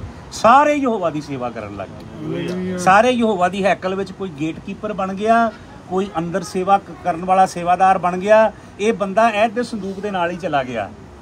ਕਿਉਂਕਿ 3 ਮਹੀਨੇ ਐਡ ਦਾ ਸੰਦੂਕ ਇਹਦੇ ਘਰ ਰਿਹਾ ਇਹ ਨੱਚਦੇ ਸਨ ਐਡ ਦੇ ਸੰਦੂਕ ਦੇ ਇਰਦ ਗਿਰਦ ਇਹ ਉਹ ਬੰਦੇ ਨੇ ਜਿਹੜੇ ਪਵਿੱਤਰ ਤੇ ਧਰਮੀ ਨੇ ਜਿਨ੍ਹਾਂ ਦੇ ਨੱਚਣ ਦੇ ਨਾਲ ਕੁਝ ਹਾਸਲ ਹੁੰਦਾ ਜੀ। ਸਿਰਫ ਧੂੜ ਨਹੀਂ ਜੀ ਉੱਡਦੀ। ਸਿਰਫ ਦਰੀਆਂ ਪੋਲੀਆਂ ਨਹੀਂ ਜੀ ਹੁੰਦੀਆਂ। ਜਿਨ੍ਹਾਂ ਦੇ ਨੱਚਣ ਦੇ ਨਾਲ ਕੋਈ ਤਸਵੀਰ ਪੈਦਾ ਹੁੰਦੀ ਹੈ। ਇਹ ਉਹ ਖੁਦਾ ਦੇ ਤਾਲਬ ਨੇ। ਤੇ ਰਾਜਾ ਦਾਊਦ ਇਹਦੇ ਘਰੋਂ ਜਦੋਂ ਐਦ ਦਾ ਸੰਦੂਕ ਲੈ ਕੇ ਜਾ ਰਿਹਾ ਹੁਣ ਕੀ ਕੰਮ ਕਰ ਰਿਹਾ? ਇਹਦਾ ਹੀ 2 ਸੈਮੂਅਲ 6 ਦੇ ਆਈ। ਹਾਂਜੀ। ਉਹਦਾ 13 ਵਚਨ ਪੜੋ ਜਲਦੀ ਨਾਲ। ਅਤੇ ਅਜਿਹਾ ਹੋਇਆ ਜਾਂ ਯਹੋਵਾ ਦੇ ਸੰਦੂਕ ਦੇ ਚੁੱਕਣ ਵਾਲੇ ਛੇ ਕਰਮਾ ਤੁਰੇ। ਹੁਣ ਸੁਣੋ, ਦੂਜੀ ਵਾਰ ਰਾਜਾ ਦਾਊਦ, ਹੁਣ ਗੌਰ ਨਾਲ ਸੁਣ ਲਓ। ਦੂਜੀ ਵਾਰ ਰਾਜਾ ਦਾਊਦ ਜਦੋਂ ਐਦ ਦੇ ਸੰਦੂਕ ਨੂੰ ਲਿਜਾ ਰਿਹਾ ਏ, ਤੇ ਰਾਜਾ ਦਾਊਦ ਪਤਾ ਕੀ ਕਰ ਰਿਹਾ ਹੈ ਰਾਜਾ ਦਾਊਦ ਦੇ ਨਾਲ ਜੋ ਭੀੜ ਜਾ ਰਹੀ ਹੈ ਅੱਗੇ ਅੱਗੇ ਕਾਹਿਨ ਨੇ, ਯਾਜਕ ਨੇ। ਤੇ ਉਹ ਐਦ ਦੇ ਸੰਦੂਕ ਨੂੰ ਕਿੱਦਾਂ ਲਿਜਾ ਰਹੇ ਜੇ? ਆਪਣੇ ਮੋਢਿਆਂ ਦੇ ਉੱਤੇ। ਤੇ ਗਾਣ ਵਾਲੇ ਗਾ ਰਹੇ ਨੇ ਵਜਾਣ ਵਾਲੇ ਵਜਾ ਰਹੇ ਨੇ। ਤੇ ਉਹ ਬੰਦੇ ਕੀ ਕਰਦੇ ਨੇ? ਇਦਾਂ 6 ਕਰਮ ਤੁਰਦੇ ਨੇ। ਕਿੰਨੇ? 6 ਕਰਮ। 6 ਕਰਮ ਤੁਰਦੇ ਨੇ। ਕਿੱਥੋਂ ਲੈ ਕੇ? ਉਹ ਵੇਦ ਇਦੋਮ ਦੇ ਘਰ ਤੋਂ ਲੈ ਕੇ ਮਾਊਂਟ ਜ਼ਾਇਨ ਤੱਕ ਸਿਯੋਨ ਪਹਾੜ ਤੱਕ। ਲਗਭਗ 15.5 ਕਿਲੋਮੀਟਰ ਦੀ ਵਾਟ ਹੈ ਉਹ 6 ਕਦਮ ਤੁਰਦੇ ਨੇ ਤੇ 6 ਕਦਮ ਤੁਰ ਕੇ ਰੁਕ ਜਾਂਦੇ ਨੇ। ਤੇ ਇੱਕ ਬੈਲ ਵੱਢਦੇ ਨੇ ਤੇ ਇੱਕ ਬੱਚਾ ਵੱਢਦੇ ਨੇ। ਹਾਲੇਲੂਇਆ। ਤੇ ਉਹ ਬੈਲ ਤੇ ਬੱਚੇ ਦਾ ਲਹੂ ਜਿਹੜਾ ਹੈ ਇਸ ਤਰ੍ਹਾਂ ਪੂਰੇ ਰਾਹ ਨੂੰ 6 ਕਦਮਾਂ ਨੂੰ ਕੀ ਕਰ ਦਿੰਦਾ ਲਿਪ ਦਿੰਦਾ ਜੀ। ਪੜ੍ਹ ਲਓ ਬੱਚੇ ਨੂੰ ਪੂਰਾ ਲਓ। ਤਾਂ ਉਹਨੇ ਬਲਦ ਤੇ ਮੋਟਾ ਪਸ਼ੂ ਭੇਟ ਕਰਕੇ ਚੜਾਇਆ। ਕਿੱਦਾਂ ਦਾ ਪਸ਼ੂ ਚੜਾਇਆ ਜੀ? ਮੋਟਾ। ਮੁੱਟਾ ਸੁੱਤਾ ਛੜਿਆ ਨਹੀਂ ਜੀ ਦਿੱਤਾ ਜੀ ਉਹ ਗੱਲ। ਕਿੱਦਾਂ ਦਾ ਦਿੱਤਾ ਜੀ? ਮੋਟਾ। ਮੋਟਾ ਫੈਟ ਦਿੱਤਿਆ ਜੀ। ਚੁਣੇ ਜਾਨਵਰ। 6 ਕਦਮ ਤੁਰੇ ਤੇ ਦੋ ਜਾਨਵਰ ਵੱਢ ਦਿੱਤੇ। ਹਾਲੇਲੂਇਆ। ਤੇ ਉਹ ਲਹੂ ਦੇ ਨਾਲ ਸਾਰਾ ਰਾਹ ਰੰਗਿਆ ਗਿਆ। ਫਿਰ 6 ਕਦਮ ਤੁਰੇ ਤੇ ਫਿਰ ਦੋ ਡੰਗਰ, ਫਿਰ 6 ਕਦਮ ਤੁਰੇ ਤੇ ਫਿਰ ਦੋ ਡੰਗਰ ਵੱਢ ਦਿੱਤੇ। ਹਾਲੇਲੂਇਆ ਤੁਹਾਨੂੰ ਪਤਾ ਹੈ, ਲਗਭਗ ਲਗਭਗ 32000 ਕਦਮ ਤੁਰੇ। ਸਾਢੇ 15 ਕਿਲੋਮੀਟਰ, ਲਗਭਗ 32000 ਕਦਮ। ਤੇ ਹਰ 6ਵੇਂ ਕਦਮ ਤੇ ਦੋ ਡੰਗਰ ਵੱਢ ਰਹੇ ਨੇ। 15 ਮੀਲ ਕਿਲੋਮੀਟਰ ਦੀ ਵਾਟ ਸਾਰੀ ਲਹੂ ਨਾਲ ਕੀ ਕਰ ਦਿੱਤੀ ਏ? ਰੰਗ ਪਿੱਛੇ ਵੇਂਦੇ ਨੇ ਤਾਂ ਵੀ ਲਹੂ ਏ ਅੱਗੇ ਵੇਂਦੇ ਨੇ ਲਹੂ ਦੇ ਨਾਲ ਰੰਗ ਦਿੱਤਾ ਦੋ ਡੰਗਰ। ਤੁਹਾਨੂੰ ਪਤਾ ਕਿੰਨੇ ਡੰਗਰ? ਦੋ। ਲਗਭਗ 3600 3600 ਬਾਰ ਕੁਰਬਾਨੀ ਦਿੱਤੀ ਜੇ। ਕਿੰਨੀ ਵਾਰ 3600 ਬਾਰ ਕੁਰਬਾਨੀ ਹੋਈ ਜੇ ਤੇ 36 ਦੂਣਾ ਕਿੰਨੇ ਬਣ ਗਏ? 7200 ਡੰਗਰ ਚਾੜੇ ਨੇ ਯਹੋਵਾ ਨੇ। ਹਾਲੇਲੂਇਆ। ਹਾਲੇਲੂਇਆ। ਕਿੰਨੇ? ਰਾਜਾ ਦਾਊਦ ਨੇ। ਤਾਂ ਕਿ ਯਹੋਵਾ ਦਾ ਕ੍ਰੋਧ ਨਾ ਭੜਕੇ। ਰਾਜਾ ਦਾਊਦ ਨੂੰ ਭੇਦ ਪਤਾ ਹੈ ਕਿ ਲਹੂ ਦੇ ਬਗੈਰ ਪਾਪਾਂ ਦੀ ਮਾਫੀ ਨਹੀਂ ਜੀ। ਹਾਲੇਲੂਇਆ। ਬਗੈਰ ਲਹੂ ਦੇ ਯਹੋਵਾ ਦੇ ਹਜ਼ੂਰ 'ਚ ਜਾਣਾ ਮੌਤ ਨੂੰ ਸਿੱਧਾ ਦੇਣਾ ਹੈ ਹਾਲੇਲੂਇਆ। ਸਾਡੇ 'ਚ ਕੋਈ ਕੈਫੀਅਤ ਨਹੀਂ ਜੇ ਬਗੈਰ ਲਹੂ ਦੇ ਚਲੇ ਜਾਈਏ ਯਹੋਵਾ ਦੇ ਮੂਹਰੇ ਹਾਲੇਲੂਇਆ। ਤੇ ਵਚਨ 'ਚ ਕੀ ਲਿਖਿਆ ਜੇ? ਯਹੋਨਾ ਦੀ ਪੱਤਰੀ ਦੇ ਅੰਦਰ ਇੱਕ ਬੜੀ ਗਹਿਰੀ ਗੱਲ ਲਿਖੀ ਜੇ। ਯਹੋਨਾ ਦੀ ਪੱਤਰੀ 'ਚ ਪਹਿਲਾ ਯਹੋਨਾ ਦੀ ਪੱਤਰੀ? ਇਹ ਅੰਜੀਲ ਪਹਿਲਾ ਯਹੋਨਾ ਉਹਦਾ ਉਹਦਾ ਇੱਕ ਦੇ ਆਏ ਉਹਦਾ ਸੱਤ ਵਚਨ ਯੂਨਾ ਇੱਕ ਦਾ ਸੱਤ। ਪਰ ਜੇ ਅਸੀਂ ਚਾਨਣ ਵਿੱਚ ਚੱਲੀਏ। ਜਿਵੇਂ ਉਹ ਚਾਨਣ ਵਿੱਚ ਹੈ। ਜੇ ਅਸੀਂ ਕਾਹਦੇ 'ਚ ਚੱਲੀਏ? ਚਾਨਣ ਕੀ ਜੇ? ਆ ਜੀ। 119 ਜ਼ਬੂਰ ਦੀ 105 ਐਤ, ਤੇਰਾ ਕਲਾਮ ਮੇਰੇ ਕਦਮਾਂ ਦੇ ਲਈ ਚਿਰਾਗ ਤੇ ਮੇਰੇ ਰਾਹਾਂ ਦੇ ਲਈ ਤੁਹਾਨੂੰ ਪਤਾ ਪੰਜ ਕੁਆਰੀਆਂ ਕਿਉਂ ਨਹੀਂ ਗਈਆਂ? ਜਿਹੜੀਆਂ ਮੂਰਖ ਸੀ। ਕਿਉਂਕਿ ਉਹਨਾਂ ਦੇ ਕੋਲ ਚਾਨਣ ਨਹੀਂ ਸੀ। ਤੇਲ ਦੇ ਨਾਲ ਚਾਨਣ ਪੈਦਾ ਹੁੰਦਾ ਜੀ। ਪਵਿੱਤਰ ਆਤਮਾ ਸਾਡੇ ਅੰਦਰ ਕੰਮ ਕਰਕੇ ਕਲਾਮ ਦੀ ਰੋਸ਼ਨੀ ਪੈਦਾ ਕਰਦਾ ਹੈ ਉਹ ਅੰਦਰੋਂ ਬੁਝੀਆਂ ਸਨ। ਇਸ ਲਈ ਲਾੜਾ ਉਹਨਾਂ ਨੂੰ ਲੈ ਕੇ, ਜਿਹੜੀ ਬੁਝੀ ਕਲੀਸਿਆ ਉਹ ਨਹੀਂ ਜੀ ਜਾਣੀ। ਉਹਨੇ 7 ਸਾਲ ਦੇ ਸਤਾਓ 'ਚ ਜਾਣਾ ਜੀ। 7 ਸਾਲਾਂ ਦੇ ਸਤਾਓ 'ਚ ਧਲਾਈ ਹੋਣੀ ਜੇ ਬੜਿਆਂ ਦੀ। ਬਹੁਤੇ ਪਾਦਰੀ ਵੀ ਜਾਣੇ ਜੀ ਉੱਧਰ 7 ਸਾਲ ਦੇ ਸਤਾਓ 'ਚ। ਜਿਹੜੀ ਲਾੜੀ ਹੈ ਨਾ, ਨਰੋਲ ਲਾੜੀ, ਉਹਨੂੰ ਲੇ- ਲਾੜਾ ਲੈਣ ਲਈ ਆ ਗਿਆ ਜੀ। ਲਿਖਿਆ ਜੇ ਅਸੀਂ ਰੋਸ਼ਨੀ 'ਚ ਚੱਲੀਏ, ਤਦ ਲਹੂ ਕੰਮ ਕਰਦਾ ਜੀ। ਵਰਨਾ ਤੁਸੀਂ ਪੁਕਾਰੀ ਜਾਓ, ਲਹੂ ਦੀ ਜੈ, ਲਹੂ ਦੀ ਜੈ, ਲਹੂ ਨਹੀਂ ਤੇ ਕੰਮ ਕਰਦਾ। ਜੇ ਤੁਹਾਡੇ ਜੀਵਨ 'ਚ ਪਾਪ ਹੈ ਇਹਦਾ ਪਿਛਲਾ ਵਚਨ ਪੜ੍ਹ ਦਿਓ ਜੇ ਅਸੀਂ ਆਖੀਏ ਭਈ ਸਾਡੀ ਉਹਦੇ ਨਾਲ ਸੰਗਤ ਹੈ ਹੂੰ। ਅਤੇ ਚੱਲੀਏ ਹਨੇਰੇ ਵਿੱਚ। ਚੱਲੀਏ ਕਾਦੇ ਵਿੱਚ? ਹਨੇਰੇ ਵਿੱਚ। ਤਾਂ ਹਾਲੇਲੂਇਆ ਅਸੀਂ ਝੂਠ।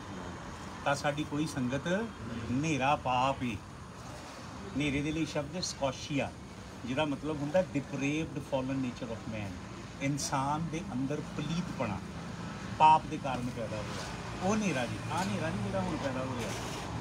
ਸਕੋਸ਼ੀਆ ਦਾ ਮਤਲਬ ਹੁੰਦਾ ਇਨਸਾਨ ਦੀ ਪਾਪ ਤੇ ਡਿੱਗ ਡਿੱਗੀ ਪ੍ਰਵਿਰਤੀ ਸੁਭਾਅ ਉਹ ਜੇ ਹਨੇਰਾ ਸੋ ਜਿਹੜਾ ਪੇੜੇ ਪੇੜ ਪਿੰਡ ਦੇ ਵਿੱਚ ਕਲੀਸਿਆ ਜੀ ਅਸੀਂ ਪਿੰਡ ਦੇ ਵਿੱਚ ਖੜੇ ਆ ਸਾਰੇ। ਇਹਦੇ ਵਿੱਚ ਦਾਣੇ ਵੱਖਰੇ ਹੋ ਰਹੇ ਜੇ ਤੇ ਤੂੜੀ ਵੱਖਰੀ ਹੋ ਰਹੀ ਜੇ। ਪਿੰਡ ਦੇ ਵਿੱਚ ਧੁਲਾਈ ਹੁੰਦੀ ਜੇ ਪਿੰਡ ਦੇ ਵਿੱਚ ਛਾਂਟੀ ਹੁੰਦੀ ਜੇ। ਜਿਹੜੀ ਟਾਣੀ ਫਲ ਲਿਆਂਦੀ ਉਹਨੂੰ ਕੀ ਕਰਦਾ ਜੇ? ਤੇ ਜਿਹੜੀ ਨਹੀਂ ਲਿਆਂਦੀ ਉਹਨੂੰ? ਇਹ ਦੋ ਕੰਮ ਹੁੰਦੇ ਨੇ ਵੱਡੀ ਵੀ ਜਾਂਦੀ ਜੇ ਤੇ ਛਾਂਟੀ ਵੀ ਛਾਂਟੀ ਇਸ ਲਈ ਜਾਂਦੀ ਜੇ ਤਾਂ ਕਿ ਹੋਰ ਫਲ ਲੈ ਕੇ ਆਏ। ਪਰਮੇਸ਼ਰ ਨੂੰ ਫਲ ਚਾਹੀਦਾ ਜੇ। ਯੀਸ਼ੂ ਮਸੀਹ ਕਹਿੰਦਾ ਪਿਤਾ ਦੀ ਮਰਜ਼ੀ ਇਹ ਹੈ ਕਿ ਤੁਸੀਂ ਬਹੁਤ ਫਲ ਲੈ ਕੇ ਆਓ। ਹਾਲੇਲੂਇਆ ਸੱਚਾ ਆਤਮਿਕ ਫਲ ਸਾਡੇ ਜੀਵਨ ਤੋਂ ਪੈਦਾ ਹੋਏ। ਇਹ ਪਰਮੇਸ਼ਰ ਦੀ ਦਰਕਾਰ ਏ। ਜਿਹੜੀ ਹੈਕਲ ਏ ਉਹ ਪਿੰਡ ਦੇ ਵਿੱਚ ਬਣਦੀ ਜੇ ਹਮੇਸ਼ਾ। ਪ੍ਰੇਰਿਤਾਂ ਦੇ ਕੰਮ ਉਹਦਾ 2 ਅਧਿਆਇ ਦਾ ਪਹਿਲਾ ਵਚਨ ਪੜ੍ਹ ਲਓ ਜਲਦੀ ਨਾਲ। ਪ੍ਰੇਰਿਤਾਂ ਦੇ ਕੰਮ 2 ਦਾ ਪਹਿਲਾ। ਜਦ ਪੰਤੇਕੁਸ ਦਾ ਦਿਨ ਆਇਆ ਉਹ ਸਭੇ ਇੱਕ ਥਾਂ ਇਕੱਠੇ ਸਨ। ਔਰ ਅਚਾਨਕ ਆਕਾਸ਼ ਤੋਂ ਇੱਕ ਗੂੰਜ ਆਈ। ਇਹ ਕਿੱਥੇ ਇਕੱਠੇ ਨੇ? ਜੇ ਪਿਛਲਾ ਅਧਿਆਇ ਪੜੋਗੇ ਉੱਥੇ ਲਿਖਿਆ ਉਹ 10 ਦਿਨ ਤੋੜੀ ਹੈਕਲ ਦੇ ਅੰਦਰ ਕੀ ਕਰਦੇ ਸਨ? ਪ੍ਰਾਰਥਨਾ ਦੁਆ ਕਰ ਰਹੇ ਸਨ ਜਿਹੜੀ ਹੈਕਲ ਰਾਜਾ ਦਾਊਦ ਨੇ ਉਹਦੇ ਅਪਰ ਰੂਮ ਦੇ ਵਿੱਚ ਪ੍ਰੇਅਰ ਕਰਦੇ ਸੀ। 120 ਲੋਕ। ਤੇ ਅਚਾਨਕ ਸਵਰਗ ਤੋਂ ਹਨੇਰੀ ਆਈ। ਹਾਲੇਲੂਇਆ ਬਾਮ ਰੋਲਾ ਆਇਆ। ਤੇ ਅੱਗ ਉਤਰੀ ਸਵਰਗ ਤੋਂ ਤੇ ਅੱਗ ਦੀਆਂ ਫਟਦੀਆਂ ਜੀਭਾਂ ਇੱਕ ਇੱਕ ਦੇ ਉੱਤੇ ਆ ਕੇ ਉਹ ਪਵਿੱਤਰ ਆਤਮਾ ਦੇ ਨਾਲ ਭਰ ਗਏ ਤੇ ਅੰਨੀਆਂ ਅੰਨੀਆਂ ਭਾਸ਼ਾ। ਹਾਲੇਲੂਇਆ ਕਲੀਸਿਆ ਦੀ ਪਦੈਸ਼ ਹੋਈ। ਲੇਲੇ ਦੀ ਲਾੜੀ ਦਾ ਜਨਮ ਵੀ ਹੋਇਆ ਜੇ ਪਿੰਡ ਵਿੱਚ। ਜਿਹੜੇ ਪਿੰਡ ਦੇ ਵਿੱਚ, ਜਿਹੜਾ ਪੇਰ ਅਰਮਾ ਜਬੂਸੀ ਦਾ ਸੀ, ਜਿਹੜੇ ਪਿੰਡ ਵਿੱਚ ਸਾਡੇ ਪੁਰਖੇ ਇਬਰਾਹਿਮ ਨੇ ਇਸਹਾਕ ਨੂੰ ਚੜਾਇਆ ਸੀ ਜਿਹੜੇ ਪਿੰਡ ਦੇ ਵਿੱਚ ਸਾਡੇ ਪੁਰਖੇ ਦਾਊਦ ਨੇ ਜਗਵੇਦੀ ਬਣਾਈ ਯਹੋਵਾ ਦੇ ਲਈ ਉਸੇ ਪਿੰਡ ਦੇ ਵਿੱਚ ਸੁਲੇਮਾਨ ਨੇ ਹੈਕਲ ਬਣਾਈ ਉਸੇ ਪਿੰਡ ਦੇ ਵਿੱਚ 120 ਲੋਕਾਂ ਦੇ ਉੱਤੇ ਪੰਤੇ ਕੁਸ ਦੇ ਦਿਨ ਪਵਿੱਤਰ ਆਤਮਾ ਉਤਰਿਆ ਤੇ ਕਲੀਸਿਆ ਪੈਦਾ ਹੋਈ। ਹਾਲੇਲੂਇਆ। ਹਾਲੇਲੂਇਆ। ਪੇੜੇ ਕਲੀਸਿਆ ਉਹ ਜਗ੍ਹਾ ਏ ਜਿੱਥੇ ਦਾਣੇ ਵੱਖਰੇ ਕਰਨ ਦਾ ਕੰਮ ਸੌਂਪਿਆ ਗਿਆ ਤੇ ਤੂੜੀ ਇਸ ਲਈ ਤੂੜੀ ਨਾ ਲੈ ਕੇ ਤੁਰੀ ਜਾਓ। ਤੂੜੀ ਦੇ ਟਰੱਕ ਭਰ ਭਰ ਕੇ ਤੁਰੇ ਜਾਓ ਭਾਵੇਂ ਵੱਡੇ ਟਰੱਕ ਉਹ ਐਕਸੀਡੈਂਟ ਵੀ ਬਹੁਤ ਕਰਾਉਂਦੇ ਆ ਜਦੋਂ ਧੁੰਦ ਪਈ ਹੁੰਦੀ ਹੈ। ਦਾਣੇ ਦਾਣੇ ਦਾਣੇ ਇਕੱਠੇ ਕਰੋ ਪ੍ਰਭੂ ਦੇ ਲਈ। ਪੜੋ ਆਖਰੀ ਵਚਨ ਇੱਕ ਮੱਤੀ ਤਿੰਨ ਦਾ 12 ਮੱਤੀ ਦੀ ਇੰਜੀਲ ਤਿੰਨ ਦਾ 12 ਪੜੋ ਉਹਦੀ ਉਂਗਲੀ ਉਹਦੇ ਹੱਥ ਵਿੱਚ ਹੈ। ਇਹ ਕੌਣ ਹੈ ਹੁਣ? ਇਹ ਪ੍ਰਭੂ ਯਿਸੂ ਮਸੀਹ ਹੈ। ਹਾਲੇਲੂਇਆ ਤੇ ਕਿੱਥੇ ਖੜਾ ਜੇ ਯਿਸੂ ਮਸੀਹ? ਅਤੇ ਉਹ ਆਪਣੇ ਪੇੜ ਨੂੰ ਚੰਗੀ ਹਾਲੇਲੂਇਆ ਕਿੱਥੇ ਖੜਾ ਜੇ? ਕਲਿਆਣ ਪੇੜ ਚ। ਦਾਣੇ ਵੱਖਰੇ ਤੇ ਤੂੜੀ ਇਹਨਾਂ ਨੇ ਪੇੜ ਨੂੰ ਬਣਾਇਆ ਜੇ ਬਿਜ਼ਨਸ। ਸਮਝ ਰਹੇ ਜੀ? ਗੋਰਿਆਂ ਦੇ ਉੱਤੇ ਸਜ਼ਾ ਮੈਂ ਗੋਰਿਆਂ ਦੇ ਵਿੱਚ ਮੈਨੂੰ ਹੋ ਗਏ 28 ਸਾਲ ਘੁੰਮਦੇ ਨੂੰ ਮੈਂ। 28 ਸਾਲ ਪਹਿਲਾਂ ਅਮਰੀਕਾ ਗਿਆ ਸੀ। ਮੈਂ ਉਹਨਾਂ ਪਾਦਰੀਆਂ ਦੀ ਨਹੀਂ ਲਈ ਕੋਈ ਸੋਬਤ ਤੇ ਨਾ ਡਾਲਰ। ਕਿਉਂਕਿ ਮੈਂ ਉਹਨਾਂ ਦਾ ਜੀਵਨ ਵੇਖਿਆ ਬਚਨ ਦੇ ਅਨੁਸਾਰ। ਇਦਾਂ ਕੋਟ ਹਲਾਇਆ ਉਹਨੂੰ ਦੇ ਕੇ ਉਹਨੂੰ ਦੇ ਕੇ ਉਹ ਕੁੱਤੀਆਂ ਡੇਗੀਆਂ ਇਹ ਕੰਮ ਹੀ ਹੋਵਾ ਵੱਲੋਂ ਇਸ ਲਈ ਉਹਨਾਂ ਦੇ ਉੱਤੇ ਸਜ਼ਾ ਆ ਰਹੀ ਜੀ। ਉਹਨਾਂ ਵਿੱਚ ਬਹੁਤੇ ਟੀਵੀ ਤੇ ਜਾ ਕੇ ਆਪਣਾ ਅੰਗੀਕਾਰ ਕਰ ਰਹੇ ਜੀ ਕਿ ਪ੍ਰੋਸਪੈਰਿਟੀ ਗੋਸਪਲ ਜਿਹੜੀ ਅਸੀਂ ਸਿਖਾਈ, ਇਹ ਰੱਬ ਵੱਲੋਂ ਨਹੀਂ ਸੀ। ਹਜ਼ਾਰ ਡਾਲਰ ਦਿਓ ਤੇ ਨਵੀਂ ਅਨੋਇੰਟਿੰਗ ਆਏਗੀ, ਇੰਨੇ ਡਾਲਰ ਦਿਓ ਤੇ ਫਲਾਣਾ ਮਸਾ ਆ ਜਾਏਗਾ, ਇੰਨੇ 91 ਜ਼ਰੂਰ 91 ਡਾਲਰ ਦੇ ਦਿਓ ਤੇ 91 ਜ਼ਰੂਰ ਦੀ ਬਰਕਤ ਆ ਜਾਏਗੀ 103 ਡਾਲਰ ਦੇ ਦਿਓ 103 ਜ਼ਰੂਰ ਦੀ ਬਰਕਤ ਆ ਜਾਏਗੀ। ਹੁਣ ਉਹ ਕਹਿ ਰਹੇ ਨੇ, ਇਹ ਪਾਪ ਸੀ ਜਿਹੜਾ ਅਸੀਂ ਤੁਹਾਨੂੰ ਪਤਾ ਹੈ, ਰੱਬ 70 ਸਾਲ 80 ਸਾਲ ਸਜ਼ਾ ਨਹੀਂ ਜੀ ਦਿੰਦਾ ਤੇ ਬੰਦੇ ਨੂੰ ਪਤਾ ਨਹੀਂ ਜੀ ਲੱਗਦਾ। ਬੰਦਾ ਇਦਾਂ ਭੁਗਤਦਾ ਰਹਿੰਦਾ ਜੀ 30 40 50 ਸਾਲ ਬਾਅਦ ਸਜ਼ਾ ਦਿੰਦਾ ਜੀ ਉਹ। ਕਿਉਂ? ਕਿਉਂਕਿ ਉਹ ਪਰਮੇਸ਼ਰ ਕੌਣ ਹੈ ਅਸੀਂ ਤਾਂ- ਅਸੀਂ ਜ਼ਬੂਰ ਗਾਣੇ ਨਾ। ਗੁੱਸਾ ਤੇ ਕਰਮ ਦੇ ਵਿੱਚ ਉਹ ਠੀਕ ਹੈ ਧੀਮਾ ਪਿਆਰ ਹੈ ਉਸ ਦਾ ਕਈ ਵਾਰੀ ਇੱਕ ਪੀੜੀ ਲੰਘ ਜਾਂਦੀ ਜੇ ਸਜ਼ਾ ਨਾ ਲੈ ਐਂਡ ਤੇ ਮਿਲਦੀ ਜੀ ਸਜ਼ਾ। ਸ਼ਾਉਲ ਨੂੰ ਆਪਣੇ ਜੀਵਨ ਦੇ ਐਂਡ ਤੇ ਸਜ਼ਾ ਮਿਲਦੀ ਹਾਲੇਲੂਇਆ ਇਹ ਵੇਲਾ ਉਥਲ ਪੁਥਲ ਦਾ ਸਮੇਂ ਹੈ। ਇਹ ਵੇਲਾ ਕਲੀਸਿਆ ਦੇ ਅੰਦਰ ਸੱਚੀ ਬੁਨਿਆਦ ਸਥਾਪਿਤ ਕਰਨ ਦਾ ਇਹ ਵੇਲਾ ਉਹ ਹੈ ਜਦੋਂ ਸਵਰਗਦੂਤ ਇਸ ਤਰ੍ਹਾਂ ਸਾਲ ਲਾ ਰਿਹਾ ਕੀ ਕਰ ਰਿਹਾ ਹੈ? ਸਾਲ। ਲੱਟ ਜਿਹਾ ਹੁੰਦਾ ਨਾ ਜਿਹੜਾ ਬੰਦਾ। ਤੇ ਜਿਹੜੀ ਇੱਟ ਬਾਹਰ ਹੈ ਛਿੱਲੀ ਜਾਣੀ ਆ ਤੇ ਜਿਹੜੀ ਅੰਦਰੋਂ ਖਾਲੀ ਉਹਨੂੰ ਕੀ ਕੀਤਾ ਜਾਏਗਾ? ਭਰਿਆ। ਇਹੀ ਪੈਗਾਮ ਸੀ ਸਭ ਤੋਂ ਪਹਿਲਾਂ। ਮਲਾਕੀ ਦੇ ਬਾਅਦ 400 ਸਾਲ ਯਹੋਵਾ ਨੇ ਗੱਲ ਨਹੀਂ ਕੀਤੀ ਇਸਰਾਇਲ ਨਾਲ। 400 ਸਾਲਾਂ ਬਾਅਦ ਉਹ ਬੋਲਿਆ ਬੀਆਬਾਨ ਦੇ ਵਿੱਚ ਇੱਕ ਇਹੋ ਜਿਹੇ ਬੰਦੇ ਨਾਲ ਜਿਹਦੇ ਲੰਬੇ ਲੰਬੇ ਵਾਲ ਹੋਣਗੇ ਉਹਨੇ ਊਂਟ ਦੀ ਖੱਲ ਨਾਲ ਆਪਣੇ ਆਪ ਨੂੰ ਲਪੇਟਿਆ ਹੈ ਤੇ ਜੰਗਲੀ ਸ਼ਹਿਦ ਤੇ ਟਿੱਡੀਆਂ ਖਾਂਦਾ ਹੈ। ਕੀਰਾ ਪੈਗਾਮ ਆਇਆ ਯਹੋਵਾ ਦੇ ਰਾਹਾਂ ਨੂੰ ਤਿਆਰ ਕਰੋ। ਜਿਹੜੇ ਟੇਢੇ ਮੇਢੇ ਕਰਤੇ ਨਾ ਰਾਹ ਉਹਨਾਂ ਨੂੰ ਕੀ ਕਰੋ? ਕਿ ਟੇਢੇ ਮੇਢੇ ਰਾਹ ਹੋ ਗਏ ਨੇ ਭਾਈਓ ਤੇ ਭੈਣੋ ਪਿੱਛੇ ਭੈਣਾਂ ਵੀ ਬੈਠੀਆਂ ਨੇ। ਭਾਈਓ ਤੇ ਭੈਣੋ ਇਹਨਾਂ ਰਾਹਾਂ ਨੂੰ ਸਿੱਧੇ ਕਰੀਏ। ਖਰੀ ਤੇ ਸੱਚੀ ਕਲਾਮ ਦੀ ਸਿੱਖਿਆ ਭੇਡਾਂ ਦੋ ਆਪਣੀਆਂ ਨੂੰ। ਹਾਲੇਲੂਇਆ। 20000 30000 50000 ਹੋਣੇ ਦੀ ਕਾਮਨਾ ਨਾ ਕਰੋ। ਕਿੰਨਿਆਂ ਲੋਕਾਂ ਨੂੰ ਤਿਆਰ ਕਰਕੇ ਲੀਲੇ ਦੇ ਕੋਲ ਸੌਂਪੋਗੇ? ਪੰਜ ਤਰ੍ਹਾਂ ਦੇ ਮੁਕਟ ਦੇਗਾ ਲੀਲਾ ਉਹਨਾਂ ਖਾਦਮਾਂ ਹਾਲੇਲੂਇਆ। ਜਿਹੜੇ ਕੀ ਕਰਨਗੇ? ਤਿੰਨ ਗੱਲਾਂ ਕਹਿੰਦਾ ਯੀਸ਼ੂ। ਕਹਿੰਦਾ ਜਿਹੜਾ ਜੈ ਪਾਏ ਜਿੱਤ ਪਾਏ। ਹਾਲੇਲੂਇਆ ਜਿਹੜਾ ਫਲ ਲੈ ਕੇ ਆਏ ਤੇ ਜਿਹੜਾ ਵਫਾਦਾਰ ਰਹੇ ਤਿੰਨ ਕੁਆਲਿਟੀਆਂ ਨੇ ਉਹਨਾਂ ਨੂੰ ਮੁਕਟ ਮਿਲਣੇ ਜੇ ਸਵਰਗ 'ਚ। ਤੁਹਾਨੂੰ ਪਤਾ ਸਵਰਗ ਦੇ ਬਹੁਤ ਸਾਰੇ ਸੇਵਕਾਂ ਨੂੰ ਕੋਈ ਪ੍ਰਤੀਫਲ ਨਹੀਂ ਜੇ ਮਿਲਣਾ। ਸਵਰਗ ਚਲੇ ਜਾਣਗੇ ਪਰ ਪ੍ਰਤੀਫਲ ਨਹੀਂ ਹੈ। ਇਹ ਅਲੱਗ ਸਿੱਖਿਆ ਹੈ। ਤਿੰਨ ਤਰ੍ਹਾਂ ਦੇ ਪੁੱਤ ਨੇ ਸਵਰਗ ਦੇ ਰਾਜ ਦੇ ਵਿੱਚ। ਇੱਕ ਇਹੋ ਜਿਹਾ ਜਿਹਨੂੰ ਕੁਝ ਨਹੀਂ ਮਿਲਣਾ। ਰਵੇਗਾ ਉੱਥੇ ਜ਼ਰੂਰ ਪਰ ਮਿਲਣਾ ਕੁਝ ਸੰਤ ਪੁਰਸ਼ ਇਸ ਲਈ ਕਹਿੰਦਾ ਹੈ ਇਸ ਤਰ੍ਹਾਂ ਦੌੜੋ ਕਿ ਤੁਸੀਂ ਇਨਾਮ ਲੈ ਕੇ ਜਾਓ। ਹਾਲੇਲੂਇਆ। ਸਿਰਫ ਇਹ ਨਹੀਂ ਕਹਿਣਾ ਜੀ ਮੈਂ ਵੀ ਉਹ ਰੇਸ ਦੇ ਵਿੱਚ ਭਾਗ ਲਿਆ। ਹੈ? ਪਾਰਟਿਸਿਪੇਸ਼ਨ ਵਾਲਾ ਸਰਟੀਫਿਕੇਟ ਨਹੀਂ ਚਾਹੀਦਾ ਸਾਨੂੰ। ਜੇਤੂ ਬਣਨਾ ਯਿਸੂ ਮਸੀਹ ਦੇ ਨਾਮ ਤਾਂ ਉਹ ਪੇੜ ਤਿਆਰ ਕਰੀਏ ਕਲੀਸਿਆ 'ਚ। ਜਿੱਥੇ ਦਾਣੇ ਵੱਖਰੇ ਹੋਣ ਤੇ ਜੋੜੀ ਆਓ ਅਸੀਂ ਪ੍ਰਾਰਥਨਾ ਕਰੀਏ। ਪਿਆਰੇ ਖੁਦਾਵੰਦ ਅੱਜ ਦੀ ਸ਼ਾਮ ਅਸੀਂ ਤੁਹਾਡਾ ਧੰਨਵਾਦ ਕਰਦੇ ਹਾਂ। ਪ੍ਰਭੂ ਜੀ ਤੁਹਾਡੇ ਇਹਨਾਂ ਵਚਨਾਂ ਨੂੰ ਤੁਸੀਂ ਮੈਨੂੰ ਵਰਦੇ ਮੀਂਹ 'ਚ ਭੇਜਿਆ ਕਿ ਇਹ ਪੈਗਾਮ ਤੁਹਾਡੇ ਸੇਵਕਾਂ ਨੂੰ ਦਿੱਤਾ ਜਾਏ। ਇਹ ਇਨਸਾਨ ਦੀ ਬੁੱਧ ਨਹੀਂ ਹੈ, ਇਨਸਾਨ ਦੀ ਹਕਮਤ ਨਹੀਂ ਹੈ, ਇਹ ਕੋਈ ਥਿਓਲੋਜੀ ਦਾ ਸਰਮਨ ਨਹੀਂ ਹੈ ਇਹ ਤੁਹਾਡਾ ਪੈਗਾਮ ਹੈ ਜਿਹੜਾ ਇਸ ਘੜੀ ਲਈ ਲੋੜੀਂਦਾ ਹੈ। ਇਸ ਵੇਲੇ ਲਈ ਲੋੜੀਂਦਾ ਹੈ। ਪ੍ਰਭੂ, ਸਾਡੇ ਪ੍ਰਾਂਤ ਦੇ ਵਿੱਚ ਪ੍ਰਭੂ ਜੀ ਜਿਹੜਾ ਜੰਤੂ ਖੜਾ ਹੋਇਆ ਹੈ, ਉਹ ਜੰਤੂ ਤੇਰੇ ਅੱਗੇ ਝੁਕੇ, ਉਹ ਜੰਤੂ ਤਦ ਝੁਕੇਗਾ ਅਸੀਂ ਜਾਣਦੇ ਹਾਂ ਜਦ ਪ੍ਰਭੂ ਜੀ, ਤੁਸੀਂ ਕਹਿੰਦੇ ਹੋ ਮੇਰੀ ਪ੍ਰਜਾ ਜਿਹੜੀ ਮੇਰੇ ਨਾਲ ਹੀ ਖਵਾਉਂਦੀ ਹੈ ਉਹ ਆਪਣੇ ਆਪ ਨੂੰ ਦੀਨ ਕਰੇ, ਹਾਲੇਲੂਇਆ। ਤਦ ਪ੍ਰਭੂ ਯਹੋਵਾ ਸਵਰਗ ਤੋਂ ਉਹਨਾਂ ਨੂੰ ਵੇਖੇਗਾ ਤੇ ਉਹਨਾਂ ਤੇ ਤਰਸ ਖਾਏਗਾ ਤੇ ਉਹਨਾਂ ਦੀ ਧਰਤੀ ਨੂੰ ਨਰੋਆ ਕਰ ਦੇਗਾ, ਹਾਲੇਲੂਇਆ। ਪ੍ਰਭੂ ਜੀ, ਸਾਡੇ ਪੰਜਾਬ ਦੀ ਧਰਤੀ ਨੂੰ ਨਰੋਆ ਕਰੋ। ਪ੍ਰਭੂ ਜੀ, ਆਪਣਾ ਹੱਥ ਵਧਾਓ। ਜਿਸ ਤਰ੍ਹਾਂ ਪਹਿਲੀ ਕਲੀਸਿਆ ਨੇ ਪ੍ਰਾਰਥਨਾ ਕੀਤੀ, ਜਦੋਂ ਚੇਲਿਆਂ ਨੂੰ ਜੇਲ੍ਹਾਂ 'ਚ ਪਾ ਰਹੇ ਸਨ, ਤੇ ਕਲੀਸਿਆ ਨੇ ਪ੍ਰਾਰਥਨਾ ਕਰਕੇ ਕਿਹਾ ਇਹ ਪਰਮੇਸ਼ਵਰ, ਆਪਣਾ ਹੱਥ ਆਪਣੇ ਪਵਿੱਤਰ ਪੁੱਤਰ ਯਿਸੂ ਮਸੀਹ ਦੇ ਨਾਮ ਦੇ ਵਿੱਚ ਵਧਾ, ਤਾਂ ਕਿ ਤੇਰੇ ਨਾਮ ਦੇ ਵਿੱਚ ਅਜ਼ੀਮ ਚਿੰਨ੍ਹ ਤੇ ਚਮਤਕਾਰ ਹੋਣ। ਹਾਲੇਲੂਇਆ। ਪ੍ਰਭੂ ਜੀ, ਉਹ ਪ੍ਰਾਰਥਨਾ ਅਸੀਂ ਅੱਜ ਕਰਦੇ ਹਾਂ ਕਿ ਸਾਡੇ ਪੰਜਾਬ, ਅਸੀਂ ਇਹ ਨਹੀਂ ਕਹਿੰਦੇ ਪ੍ਰਭੂ ਜੀ, ਸ਼ਾਂਤੀ ਝੂਠੀ ਵੀ ਹੈ। ਅਸੀਂ ਪ੍ਰਭੂ ਜੀ ਇਹ ਕਹਿੰਦੇ ਆ ਤੁਹਾਡਾ ਆਤਮਾ ਕੰਮ ਕਰੇ ਕਸਰਤ ਦੇ ਨਾਲ ਜੁੰਬਸ਼ ਕਰੇ। ਬਹੁਤ ਸਾਰੇ ਵਿਰੋਧੀਆਂ ਦੀ ਅੱਖਾਂ ਖੁੱਲਣ ਤੇ ਉਹ ਤੁਹਾਨੂੰ ਜਾਣਨ ਪ੍ਰਭੂ ਜੀ। ਤੁਹਾਡਾ ਨਾਮ ਉੱਚਾ ਹੋਏ। ਤੁਹਾਡੇ ਨਾਮ ਦੀ ਅਸੀਂ ਵਡਿਆਈ ਕਰਦੇ ਹਾਂ। ਇੱਕ ਵਾਰ ਫਿਰ ਅਸੀਂ ਸਭ ਮਿਲ ਕੇ ਦੁਆ ਕਰੀਏ। Thank Bhai you, Gurdeep the Jesus. ਬੇਟੀ ਦੇ ਲਈ ਸਭ ਤੋਂ ਪਹਿਲੇ Hallelujah. Lord, I bless that girl, the young lady. cover her under your blood. Praise. Lord, I speak your virtue and your anointing this day. This is a very special day, Lord, Jesus. Hallelujah. that you sent her into this world and you bless this dear brother with our presence. I pray, Lord, that you will grant her wisdom and knowledge and understanding and spirit of excellence, Lord, will move upon her in the name of Jesus. Lord, she will do good in her studies in the name of Jesus. And you will keep her, health, keep her healthy and hearty, Lord.